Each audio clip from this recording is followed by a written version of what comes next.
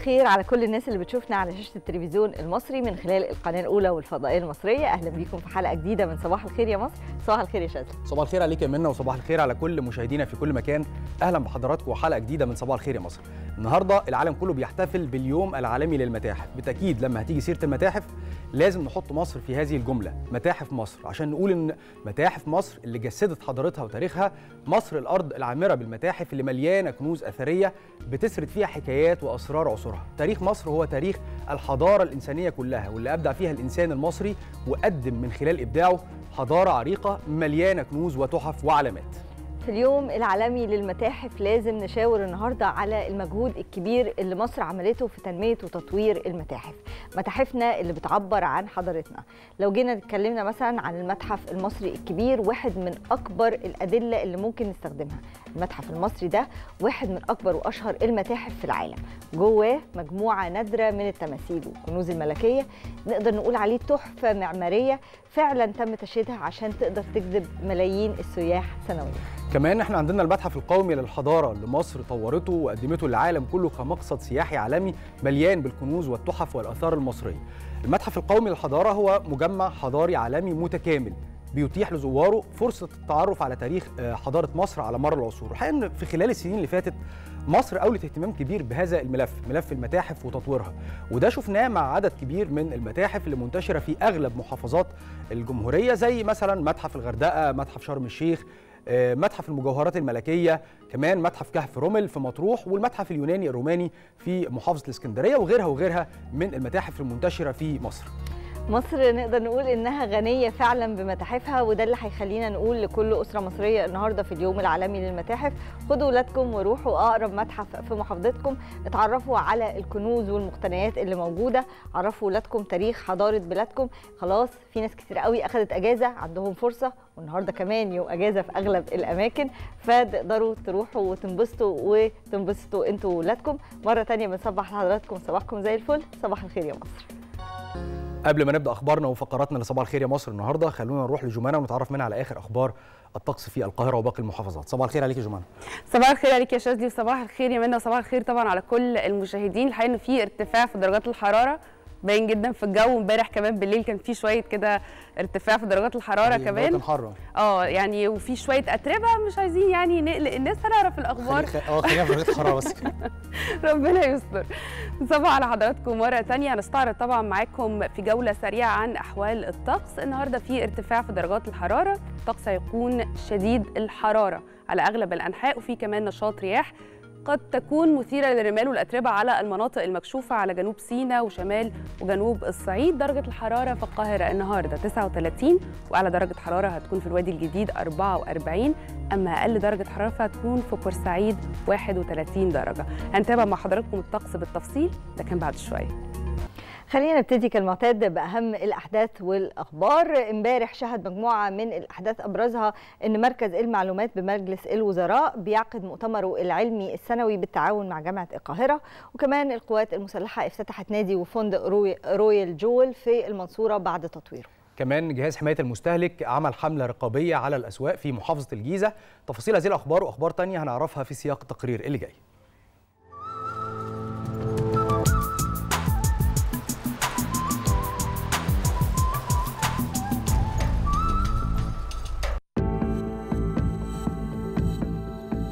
الأخبار اللي حصلت امبارح شهدت أن مركز المعلومات ودعم اتخاذ القرار التابع لمجلس الوزراء بالتعاون مع جامعة القاهرة كلية الاقتصاد والعلوم السياسية أعلن عن عقده مؤتمره العلمي السنوي تحت عنوان صنع السياسات الاقتصادية في أوقات تزايد المخاطر وعدم اليقين. يوم الحد والاثنين الموافقين 19 و20 مايو الجاري بقاعة الاحتفالات الكبرى بجامعة القاهرة.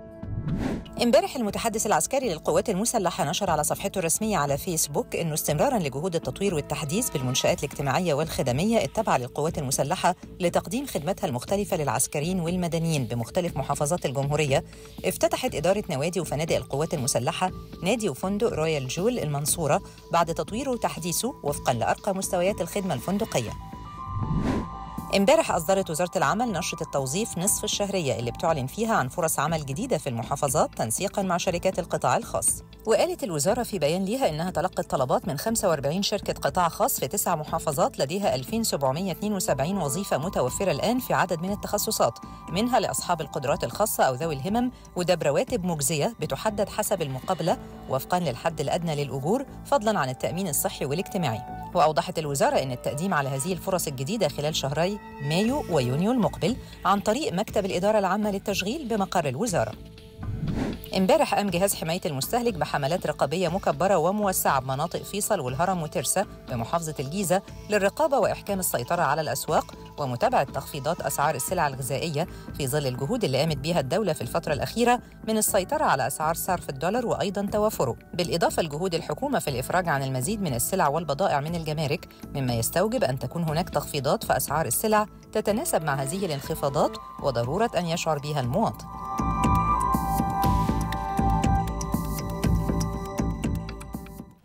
هنبدأ مع حضراتكم أخبار المحافظات من محافظة البحيرة واللي فيها التحالف الوطني للعمل الاهلي التنموي أطلق أكبر مبادره لإنهاء قوائم الانتظار في المستشفيات.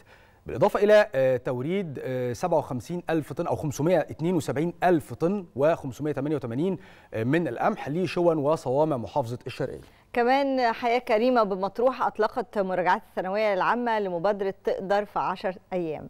وكمان حصل فحص ل 1797 مواطن في قافلة طبية مجانية في دمياط. خلينا نتابع.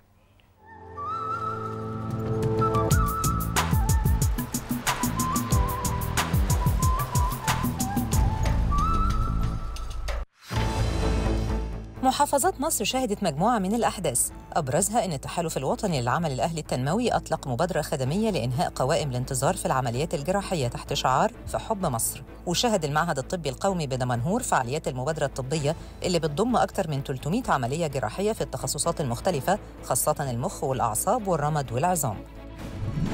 مديرية التموين بالشرقية أكدت أن ما تم توريده من الأقماح بلغ 572588 طن قمح لمواقع التخزين بنطاق المحافظة مع تكثيف أعمال المتابعة لعملية التوريد وتفعيل دور اللجان المكلفة باستلام محصول القمح من المزارعين وتخزينه بطريقة جيدة. وأيضا التأكد من جودة الأقماح الموردة وفرض الرقابة اللازمة على حركة تداولها.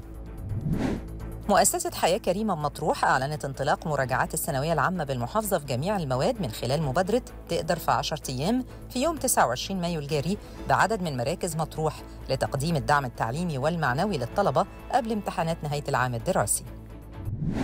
محافظة دمياط شهدت تدشين القافلة الطبية اللي تم تنظيمها على مدار يومين بقرية كرم ورزوق بمركز فرسكور ضمن خطة شهر مايو الجاري واللي بتشمل عدد من القرى بمراكز كفر سعد وكفر البطيخ والزرقاء وفرسكور وتضمنت 11 عيادة تخصصية ب 10 تخصصات طبية وثلاث عيادات خدمية وتردد عليها 1797 مواطن تلقوا خدمات الكشف والعلاج بالمجان. مع عقد 10 ندوات للتثقيف الصحي حضرها 163 مواطن. ومن أرض مطار رحلات البالون الطائر بمحافظة الأقصر تم إطلاق 54 رحلة بالون أقلت على متنها حوالي 1210 سائح من حول العالم في أجواء من البهجة والفرحة بين السياح القادمين من مختلف أنحاء العالم بالبر الغربي. وبتحصل شركات البالون الطائر فجرا على إشارة البدء بالتجهيز من الشركة المصرية للمطارات وبيتم عمل فحص شامل مع التأكيد على إجراءات السلامة المهنية والسلامة الشخصية للسياح. مشاهدينا خلينا نروح لفاصل ونرجع نكمل معاكم باقي حلقاتنا.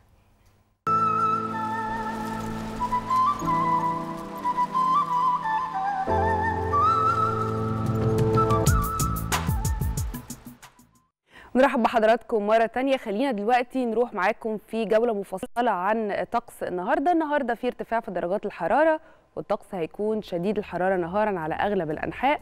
أما بالليل الجو هيكون معتدل على أغلب الأنحاء. في كمان نشاط رياح قد تكون مثيرة للرمال والأتربة على المناطق المكشوفة على جنوب سيناء وشمال وجنوب الصعيد. خلينا نعرف تفاصيل أكتر عن الطقس النهاردة من دكتور منار غانم عضو المركز الإعلامي لهيئة الأرصاد الجوية. صباح الخير على حضرتك يا دكتور منار.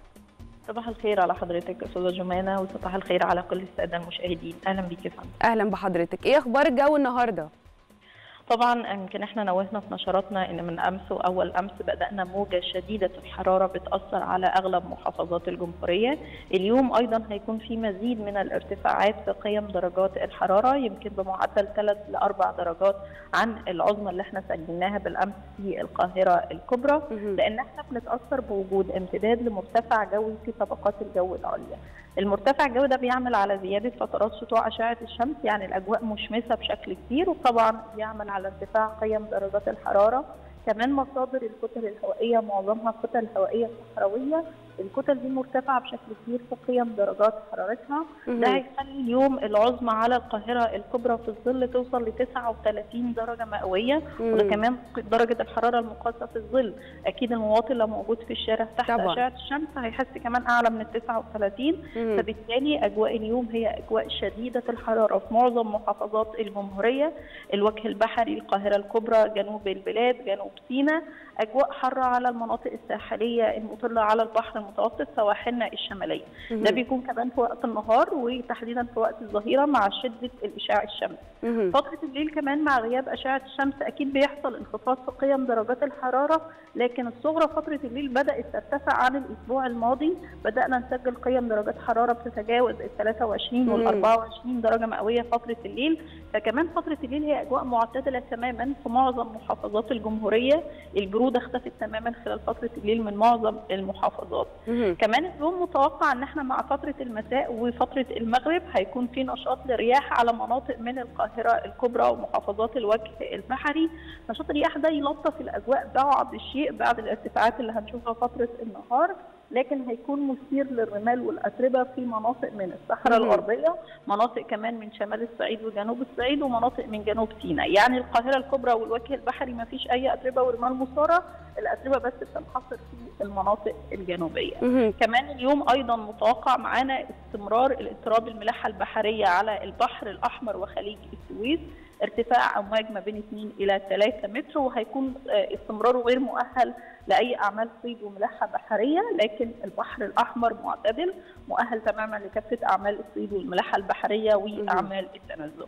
موجة. ارتفاع قيم درجات الحرارة دي مكملة معانا على مدار الأسبوع ده كله يعني إحنا متوسط قيم درجات حرارة خلال هذا الأسبوع ما بين 37 ل 39 درجة مئوية عظمى على القاهرة الكبرى. فطول أيام الأسبوع الأجواء هتكون أجواء شديدة الحرارة. لفتره النهار فترة الليل هتكون معتدلة بشكل كبير. فعشان كده طول الموجة دي بيخلينا نحس أكتر بارتفاع قيم درجات الحرارة. هي مش موجة قصيرة زي اللي إحنا متعودين عليها بتبقى يوم اثنين لا ده مدار أسبوع كامل. فلازم بقدر الإمكان نتجنب التعرض المباشر لأشعة الشمس وقت الظهيرة تحديدا. يمكن من الساعة 12 واحدة الظهر لحد الساعة 4 العصر شدة الإشعاع الشمس بتبقى قوية بشكل كبير فبقدر. الامكان نتجنب أشعة الشمس لو أنا موجود في الشارع يكون معايا غطاء لرأسي يحميني من أشعة الشمس عدم الوقوف تحت أشعة الشمس لفترات طويلة دايما أغير درجة حرارة جسمي نتناول قدر كبير من المرطبات والسوائل وأهمهم المية. المية دي على مدار اليوم الملابس تكون فاتحة اللون لو أنا موجود في الشارع وطبعا نستمر في المتابعة الجيدة للنشرات الجوية طيب دكتور منار بالنسبة للرياح المحملة بالأتربة كمان مستمرة معانا على مدار الأسبوع ولا لأ؟ هي طبعا هتستمر معانا على مدار الأسبوع لكن هتختلف من يوم للتاني ومن منطقة للتانية. لكن على الأقل القاهرة الكبرى والسواحل الشمالية مش هيكون فيها أتربة ورمال مثاره على مدار الأسبوع كله. لكن المناطق الجنوبية هيستمر مع معاها الرياح الأتربة والرمال المثاره لكن ممكن تختلف.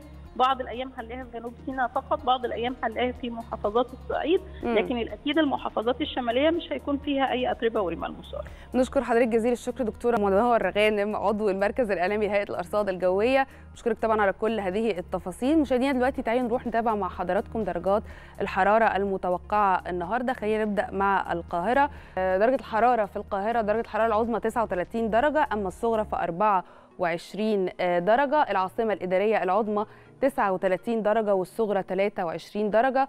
بالنسبة للإسكندرية درجة الحرارة العظمى 32 درجة والصغرى 23 درجة. بالنسبة للعلمين الجديدة العظمى 32 درجة والصغرى 22 درجة. مطروح درجة الحرارة العظمى 32 درجة أما الصغرى فهي 21 درجة. بالنسبة لدمياط درجة الحرارة العظمى 31 درجة والصغرى 23 درجة. بورسعيد درجة الحرارة العظمى هي 31 درجة والصغرى 24 درجة. طبعا بورسعيد زي ما كنا بنتكلم مع حضراتكم هي أقل درجة آه، حرارة. الإسماعيلية العظمى 39 درجة والصغرى 22 درجة السويس العظمى 39 درجة والصغرى 22 درجة العريش درجة الحرارة العظمى 34 درجة والصغرى 20 درجة بالنسبة لسانت كاترين درجة الحرارة العظمى 32 درجة والصغرى 14 درجة طابة العظمى 36 درجة والصغرى 24 درجة. درجة الحرارة في حلايب درجة الحرارة العظمى 34 درجة أما الصغرى فهتكون 25 درجة. كمان شلاتين درجة الحرارة العظمى 37 درجة والصغرى 24 درجة. شرم الشيخ العظمى 39 درجة والصغرى 26 درجة. والغردقة العظمى هتكون 39 درجة أما الصغرى فتكون 26 درجة. الفيوم درجة الحرارة العظمى 41 درجة والصغرى 24 درجة. بني سويف العظمى 41 درجة والصغرى هتكون 24 درجة. الوادي الجديد 44 درجة والصغرى 26 درجة.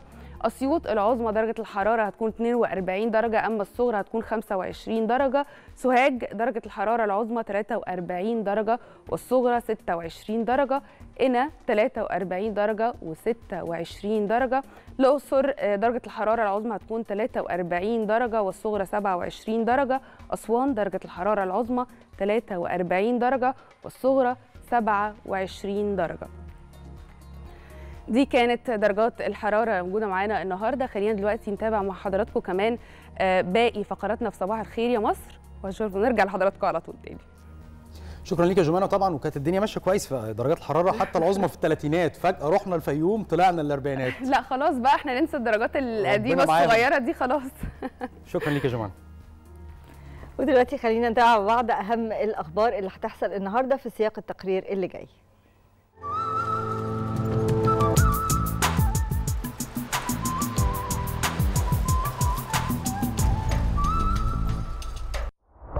بالنسبة للأخبار اللي هتحصل النهاردة فالنهاردة هيستقبل متحف البريد الزائرين بالمجان بمناسبة اليوم العالمي للمتاحف اللي بيوافق 18 مايو من كل عام. وبينظم متحف البريد المصري مجموعة من الفعاليات والندوات التعليمية والألعاب الترفيهية للأطفال بما يمكن الزائرين من الاطلاع على تاريخ البريد المصري بطريقة تفاعلية جذابة. النهارده تفتتح جميع متاحف الآثار على مستوى الجمهورية والتابعة للمجلس الأعلى للآثار أبوابها مجانا لزائريها من المصريين احتفالا بيوم المتاحف العالمي اللي بيوافق يوم 18 مايو من كل عام. كما أنه يمكن لزائري هذه المتاحف في هذا اليوم المشاركة في الجولات الإرشادية للزائرين مجانا للتعرف على كل متحف وما يحتويه من مقتنيات أثرية. النهارده العشاء الكرة الإفريقية هيلتقي الأهلي مع الترجي التونسي في الثامنة مساء بتوقيت تونس العاشرة بتوقيت القاهرة في ذهاب الدور النهائي من منافسات دوري أبطال إفريقيا. انطلقت قافلة جسور الخير إلى حلايب وشلاتين وبرماد محملة ب 64 طن من المواد الغذائية والملابس الجاهزة وكمان بتضم القافلة خدمات طبية بتشمل 37 طبيب. القافلة بتعتبر هي الأكبر من نوعها بمشاركة 54 من أعضاء جامعة المنصورة. خلينا نعرف تفاصيل أكتر معانا على التليفون الدكتور شريف خاطر رئيس جامعة المنصورة. صباح الخير يا دكتور أهلا وسهلا بيك. صباح الخير يا فندم صباح الخير أستاذ محمد أستاذ امين صباح النور يا فندم. أهلا وسهلا بحضرتك. لو اتكلمنا عن آه، المواد اللي موجودة أو اللي اشتملت عليها القافلة الطبية وعايزين نعرف بقى كمان آه، عدد الناس اللي مشاركه في القافلة والتخصصات كمان. ال- الحقيقة طبعا القافلة تعتبر القافلة رقم 21 آه، تطلق عليها جسور الخير 21 ولا تطلق للمناطق الحدودية في جمهورية مصر العربية ودي طبعا من المبادرة الرئاسيه التي أطلقها فخامة الرئيس لتنمية المجتمع المصري وتكافل جميع مواطني جمهورية مصر العربية. والقافلة تضمنت لأول مرة في في جامعة المنصورة 64 طن من الأرز والمكرونة 17 طن ارز و17 طن مكرونة ودقيق آه، أيضا وكذلك فراخ مجمدة يعني الحقيقة طبعا وملابس جاهزة يعني الحقيقة طبعا دي تعتبر دعم من جامعة المنصورة بالتعاون مع وزارة التضامن الاجتماعي وحياة كريمة. والحقيقة طبعا تم إطلاقها بالأمس محملة ب 37 طبيب متخصصين في كافة المجالات سواء الطبية أو الطب البيطري أو الزراعة. وكذلك فيها قافلة رياضية وعلى استعداد تنظيم منح تعليمية لأهالينا في حلايب وشلاتين. والحقيقة ضمت إداريين بلغ عددهم 54 آه، عضو هيئة تدريس وجهاز إداري من جامعة المنصوره. عظيم. طيب دكتور مدة القافلة قد إيه؟ وحضرتك قلت إن جسور خير دي ال- القافلة ال 21 هل حضرتك تتكلم بشكل عام إن دي 21 في الجامعات كلها والمحافظات كلها ولا من جامعة المنصورة فقط؟ لا هي من جامعة المنصورة فقط القوافل بدأت منذ أكثر من أربع سنوات. ودي من المبادرة الرئاسيه التي أطلقها فخامة الرئيس عبد الفتاح السيسي مم. والحقيقة إحنا جامعة المنصورة واخدة أرقام ودي للمناطق الحدودية فقط بالإضافة ل- لدينا قوافل طبية داخلية في مستوى على مستوى الداخليه أو المحافظات المجاورة إنما القوافل الحدودية ب- تم إطلاقها عددها رقم 21 جميل جدا. مدتها قد إيه يا فندم؟ وهل بنعرف الأهالي في هذه المحافظات إن إحنا رايحين أو بنعرفهم إزاي؟ الحقيقة طبعا بيتم التنسيق مع سيادة المحافظ البحر الأحمر قبلها بثلاث شهور مم. ومع القوات المسلحة ووزارة الصحة ووزارة التضامن الاجتماعي. كل الجهات التنفيذية على مستوى الداخلية أيضا وعلى مستوى المحافظة اللي إحنا رايحين لها بحيث إن إحنا نقدر نعرف إيه المطلوب مننا وإيه خط السير وبالتالي القافله تم إطلاقها بالأمس ووصلت آه، يوم الجمعة مساء وبدأت عملها النهارده لمدة أربع أيام. حتى يوم الثلاثاء نهاية يوم الثلاثاء وسوف تعود إلى المنصورة يوم الأربعاء آه، باكر. بالسلامة إن شاء الله طيب. آه، أهالينا اللي هتحتاج عمليات هل القافلة تقدر تساعد في حاجة زي كده ولا مش متاح إجراء العمليات لا طبعا إحنا لدينا كافة التخصصات الطبية والصيدلية و- وكذلك التمريض و- وطب الأسنان وحياة يعني قافلة متكاملة بكل الإمكانيات تستطيع أن تجري العمليات المتاحة بالأماكن المتاحة في حلايب وشلاتين في محافظة البحر الأحمر.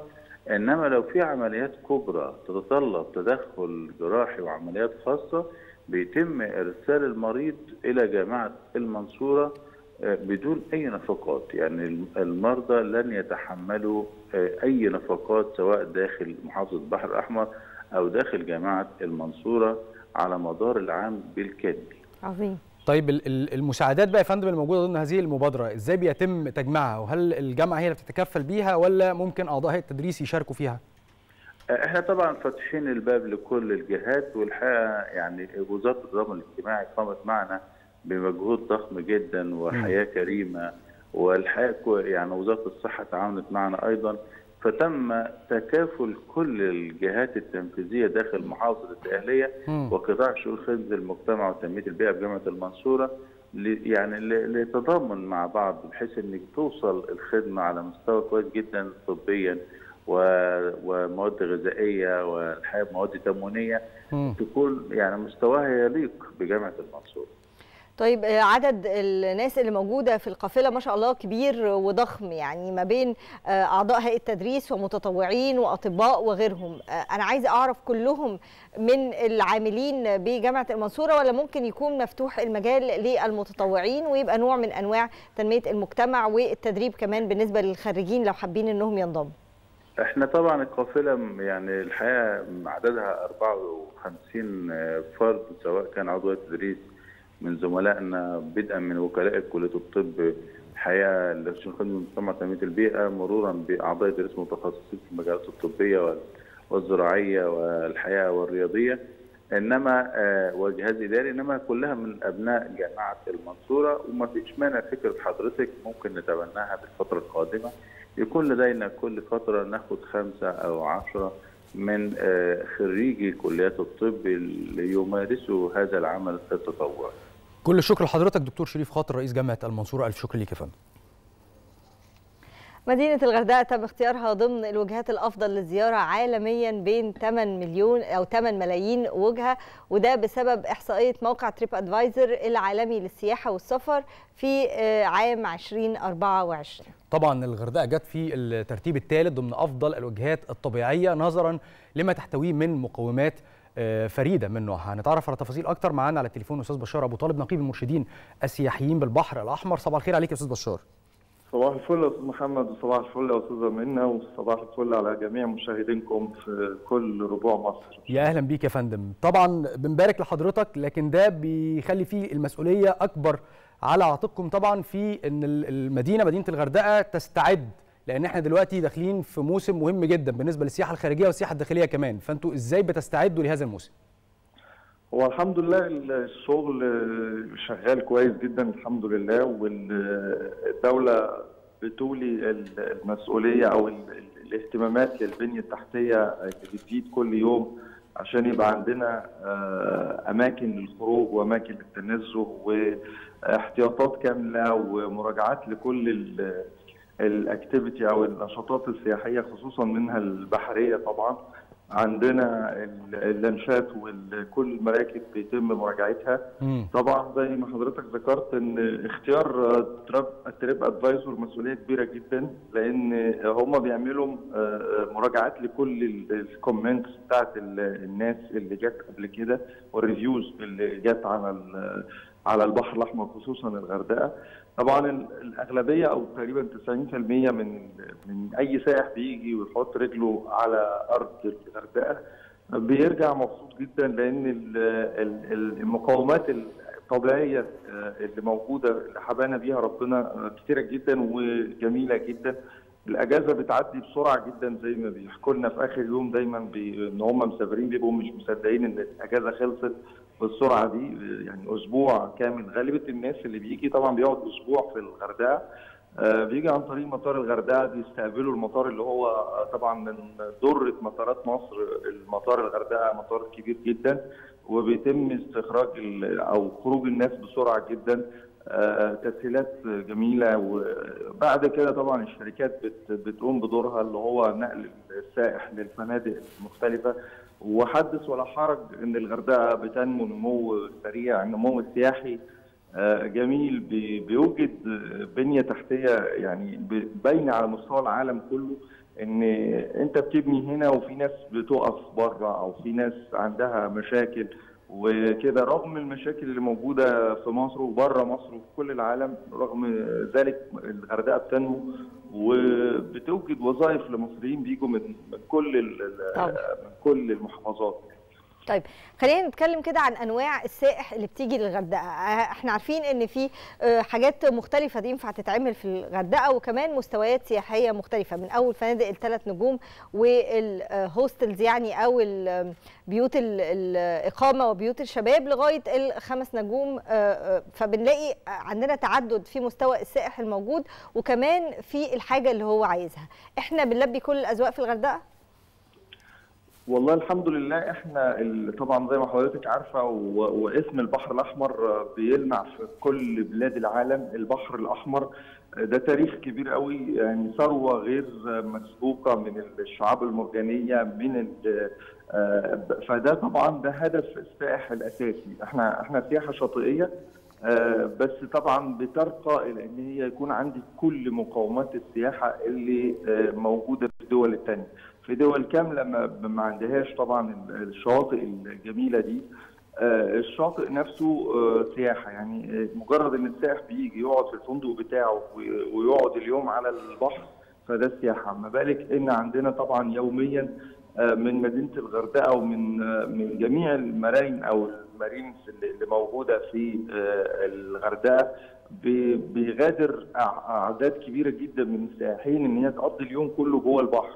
وعندنا حبانا ربنا ب- آه، يعني مجموعة جزر آه، في مواجهة الغردقة آه، يعني الحمد لله لم نستغل منها غير تقريبا جزيرة واحدة بس اللي بينزل عليها السائح اسمها جزيرة الكفتون طبعا. اللي هي اخذتها بعض الشركات والمستثمرين لأن يقضي السائح بتاعهم فيها اليوم بتاعه أو بعض ممنوع طبعا البناء على الجزر طبعا. ولكن آه، في آه، مطاعم معمولة من آه، مبنية من أو معمولة من من الجريد النخل والحاجات الطبيعية اللي هي ما بتضرش في البيئة وده شيء جميل جدا بيحسب لوزارة البيئة اللي هي موجودة عندنا جهاز شؤون البيئة نشط جدا في الغردقة.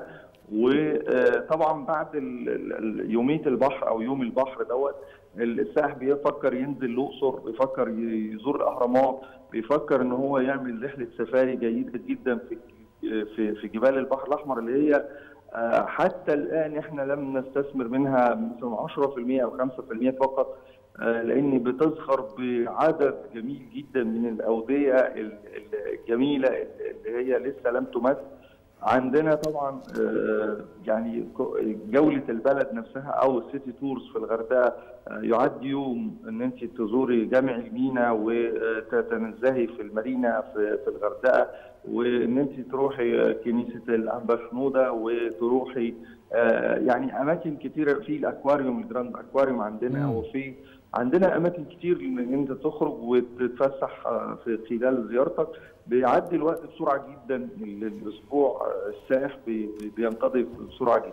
جميل جدا. طيب حضرتك قلت دلوقتي إنه 90% من التعليقات التعليقات كلها إيجابية على مدينة الغردقة. ولما نيجي نتكلم إن في 8 مليون وجهة سياحية إحنا في الغردقة نوصل للترتيب الثالث فده إنجاز مهم جدا. لكن أنا طماع شوية. إحنا عايزين نوصل للمركز الأول. فإحنا إزاي بنشوف التعليقات؟ ولو في أي تعليقات مثلا فيها تعليقات سلبية أو محتاجين إحنا نفكر فيها عشان نشوف لو عندنا مشكلة إن إحنا نحلها. هل بنتابع الكلام ده؟ طبعا هو ال- المحافظة عندنا آه، يعني مشكورة بتتابع كل دوت ولكن آه، بينقصنا بعض الحاجات البسيطة جدا يا أستاذ محمد اللي هي يعني إحنا عندنا كده آه، يعني زي ما تقول في زهد شوية أو في آه، اللي إحنا ما بن- ما بن- ما بنحاولش نوصل فعلا بال 100% الكاملة. فعندنا بعض السلبيات البسيطة يعني آه، يعني أنا عندي في الغردقة مثلا الميادين الكبرى ما فيهاش آه، حمامات عامة مثلا. كانت المحافظة جابت قبل كده حمامات آه، آه، يعني مشكوره الهيئه العربية للتصنيع. بتصنع لنا حمامات آه، متنقلة كده موجودة بتتحط في الشوارع. للأسف الحمامات دي ما بيتمش الاهتمام بيها بعد ما تتحط في مكانها. فالمحافظة بيستسهلوا ويشيلوها تاني من مكانها. فاحنا إحنا محتاجين الحاجات السيرفيس البسيطة جدا اللي بتفرق مع السائح اللي ماشي على رجليه في الشارع لأن زي ما حضرتك عارف في في رغم كل ال- ال- الترفيه اللي موجود ورغم كل الأماكن في سائح بيحب يخش جوه تفاصيل البلد نفسها. صحيح. يعني أنا مم. يعني أنا مثلا أنا سائح بحب أشيل شنطتي على ظهري وأمشي في الأسواق وأمشي أشوف الناس وأتكلم مع مصري ماشي في الشارع. المصريين بطبيعتهم يعني جميلة جميلة جدا إن هو يعني بيرحب بأي حد وبيحاول يساعد أي حد محتاج مساعدة منه في في في سايح كمان. عشري زي ما بنقول بيحب ينتشر وسط الناس ويتعرف على ثقافة الناس. لكن أخيرا وسريعا أخبار المتحف إيه وإحنا بنتكلم النهارده في اليوم العالمي للمتاحف؟ آه، آه الإقبال. عندكم عامل إزاي في الغردقة؟ الحمد لله متحف الغردقة يعني متحف جميل جدا. في في حوالي 3000 قطعة أثرية في 10 قطع من من مقبرة توت عنخ آمون. آه الإقبال لسه طبعا أنت عارف الناس ما بتصحيش من النوم بصراحة في الغردقة فبيبقى في الفترة المسائية أكتر. يعني عندنا عندنا عدد كبير. إحنا بنفتح فترة مسائية باستثناء طبعا متاحف مصر كلها من 5 ل 11 بالليل فأغلب الناس بت- بتيجي في الفترة المسائية. فإن شاء الله النهارده يعني يوم غير مسبوق إن شاء الله. جدا من المصريين. أكيد. كل الشكر ليك أستاذ بشار أبو طالب نقيب المرشدين السياحيين بالبحر الأحمر. شكرا جزيلا ليك. وزارة الحج والعمرة جددت تحذيرها الخاص بحتمية حصول راغبي أداء المناسك على تأشيرة الحج وكمان شددت على إن هذا إجراء ملزم. ومن غيره لا يسمح بأداء الحج لأي قادم من خارج المملكة. خلينا نعرف تفاصيل أكتر عن تحذيرات السعودية بشأن أداء فريضة الحج لحاملي تأشيرات الزيارة. معانا على التليفون أستاذ عادل حنفي نائب رئيس اتحاد المصريين في السعودية. صباح الخير عليك. صباح الخير أستاذة منى صباح الخير آه، أستاذ محمد. صباح النور يا فندم. آه، أنا طبعا ببلغكم تحياتي من أرض الحرمين الشريفين وصباح الخير يا مصر. صباح الخير على حضرتك. عايزين نعرف هو لازم الشخص اللي هيؤدي الحج يكون معاه تأشيرة حج؟ يعني ما يقدرش يروح وهو معاه تأشيرة تانية وبرضه يؤدي فريضة الحج؟ لا يا فندم هو بالفعل زي ما حضراتكم تفضلتوا في الأول لا حجة بدون تصريح للمقيم اللي داخل آه، المملكة العربية السعودية. ما بال حضرتك بالقادم من خارج المملكة العربية السعودية لابد أن يكون يحمل تأشيرة حج صريحة. واللي عايز أكد على حضراتكم السادة المشاهدين من خلال صباح الخير يا مصر إن ابتداء من اليوم السبت الموافق 10 ذو القعدة 1445 18 مايو يمنع قبول استقبال حاملي تأشيرات الزيارة بأنواعها. في أربع مطارات أساسية المجاورين للحرم المكي آه، الشريف ألا وهي مطار الملك عبد العزيز بجدة، المطار الم- الأمير محمد بن عبد العزيز بالمدينة المنورة، ومطار الطايف ومطار آه، ينبع. المملكة العربية السعودية آه، هذا العام يوجد تجديد أكثر من أي الأعوام ماضية على موضوع الحج حرصا منها على أن يكون يمر موسم الحج بسلام وأمان لل- للحجيجة عموما يعني. طيب هو لازم يطلعوا تأشيرة الحج من هنا مثلا من مصر قبل ما يسافروا ولا ممكن لو حد موجود هناك آه، بزيارة يقدر يستخرج تأشيرة الحج أستاذ محمد حتى لو موجود داخل المملكة العربية السعودية مم. جميع أنواع الزيارات لا يحق لها أن تقوم بعملية أداء فريضه الحج مفهوم. أنا أقصد بس إن هو ينفع يستخرج تأشيرة وهو هناك؟ يعني في حد دلوقتي خلاص راح يزور حد من أبنائه اللي موجودين هناك ومقيم في المملكة مثلا بقاله فترة بقاله شهر مثلا وليكن. هل ينفع وهو هناك يطلع التأشيرة ولا كده خلاص؟ للأسف يا أستاذ محمد ممنوع للأسف على جميع أنواع الزيارات. حتى الزيارة التجارية والسياحية وزيارة العمل والزيارة الشخصية. عايز أزيد حضراتكم برضو آه، أقول لحضراتكم إن هيئة كبار العلماء السعودية أصدرت فتوى صريحة وواضحة. قالت فيها إيه منذ أيام لا يجوز الذهاب للحج دون تصريح. يعني الموضوع منتهي تماما كمان هيبقى في مخالفات آه، على من يتجاوز أو من يحج بدون تصريح ويتم القبض عليه بالمشاعر المقدسة ألا وهي عبارة عن عشرة ألاف ريال والتبسيط بمعنى أن هو مش هي مش هيدخل آه، المملكة العربية السعودية مرة تانية نهائيا. نهائيا ولا الفترة زي ما كان بيحصل؟ لا للأسف نهائيا. مم. آه فالموضوع مسدد. أنا عايز أقول لحضراتكم ليه المملكة العربية السعودية عملت كده؟ لأن إحنا السنة اللي فاتت للأسف كان عندنا عدد كبير من وفيات آه، بين الحجيج غير آه، حاملي تصريح آه، الحج وكلهم كان للأسف من ال- ال- الزيارات ال- المختلفة. فده أثر طبعا فعشان كده المملكة حريصة على إن تتم إجراءات الحج للجميع بسلام. يمكن ده واحد من الأسباب. طيب الإجراءات الصحيحة الحاج إن شاء الله آه، المفروض يتبعها علشان يقدر يوصل المملكة بسلام من غير ما يتم اعتراضه بسبب تأشيرة الحج. يعمل إيه؟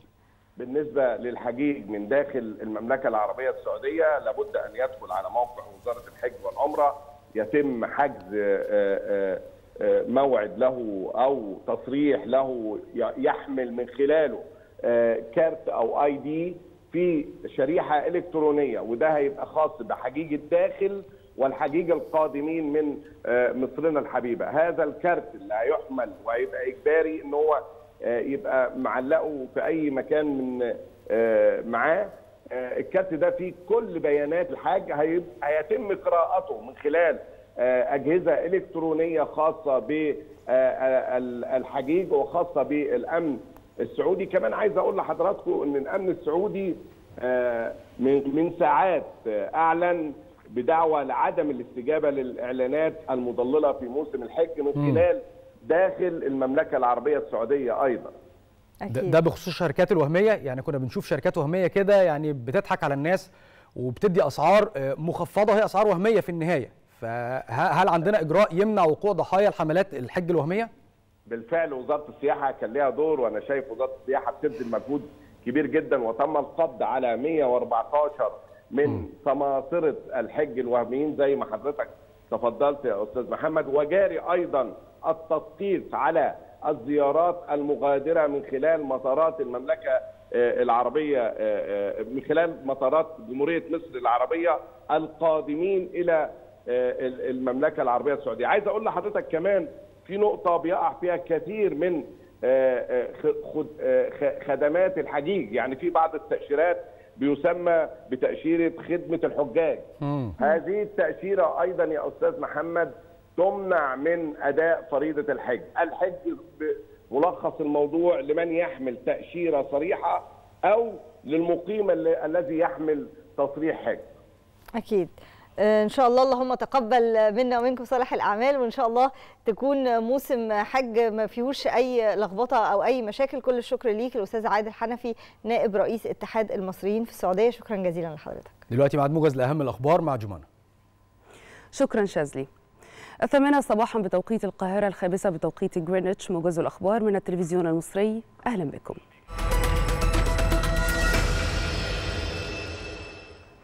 أكد وزير الخارجية سامح شكري على ضرورة امتثال إسرائيل لالتزاماتها كقوة قائمة بالاحتلال من خلال فتح جميع المعابر البرية بين إسرائيل والقطاع وتحقيق النفاذ الكامل للمساعدات الإنسانية والإغاثية إلى قطاع غزة.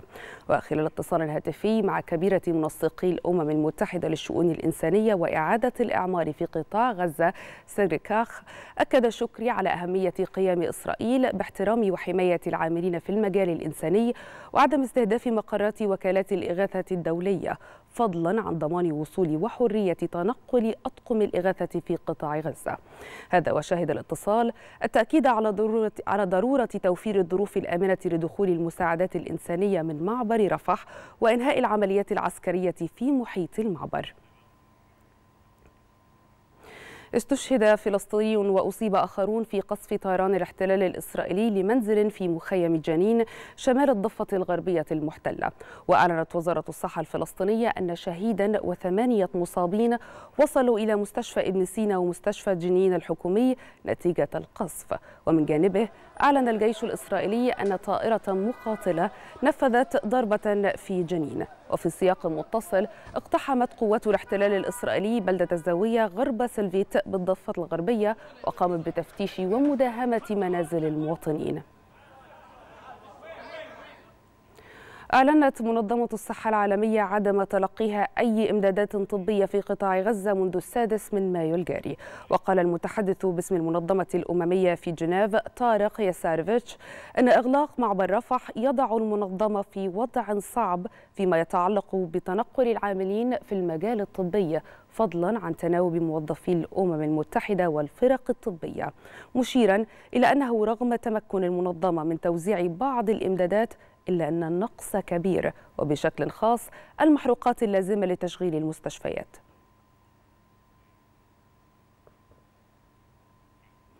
قال منسق الاتصالات الاستراتيجية في مجلس الأمن القومي الأمريكي جون كيربي إن الولايات المتحدة لا ترغب في احتلال القوات الإسرائيلية لقطاع غزة.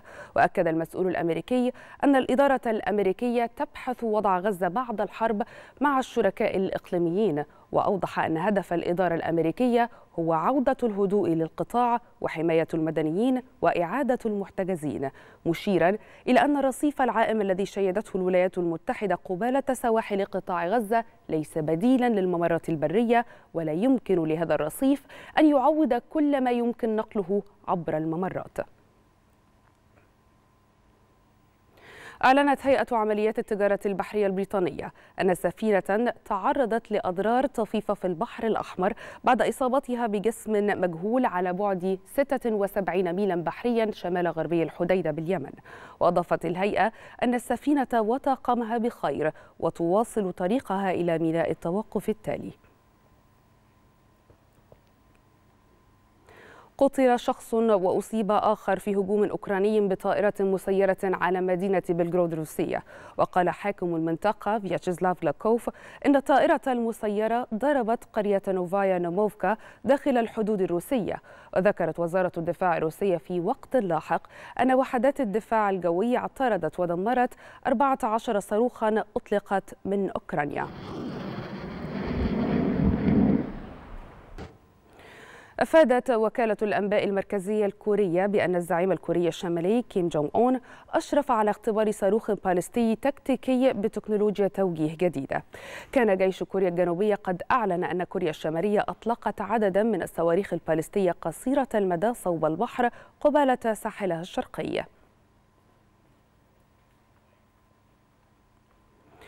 قال مسؤول أمني كبير في تايوان أن الرئيس المنتخب لاي تشينغ تي سيتعهد في خطاب تنصيبه الاثنين القادم بضمان الاستقرار من خلال الحفاظ على الوضع الراهن في علاقة الجزيرة مع الصين. وأكد المسؤول التايواني أن الرئيس سيتحدث عن نهج البلاد المستقر والثابت ومواصلة الأساسيات التي أرستها الرئيس السابق تساي مؤكدا أن الحكومة ستعمل على ضمان أن تؤدي تايوان دورا لا غنى عنه في الاقتصاد العالمي والجغرافيا السياسية مع الحفاظ على الوضع الراهن والعمل مع جميع الأطراف لضمان عدم تقويض الوضع الراهن.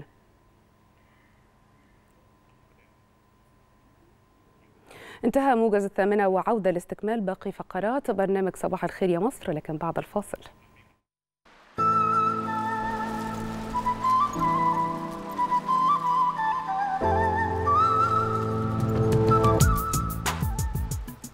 أهلا بكم من جديد.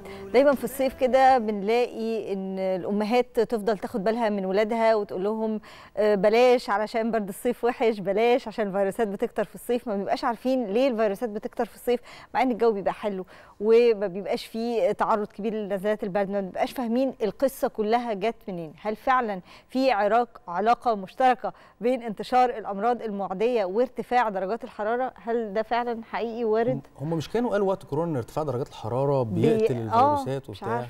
طيب هي في تفاصيل كتيرة وأسئلة كتيرة هجاوبنا عليها دلوقتي بالتفصيل. طبعا ضيفنا الدكتور عبد اللطيف المر أستاذ الطب الوقائي والصحة العامة بجامعة الزقازيق. صباح الخير عليك يا دكتور. يا صباح الفل يا شاذلي. صباح الخير يا يا منى يا منورنا يا دكتور. صباح يا الفل على صباح الفل حضرتك. والياسمين.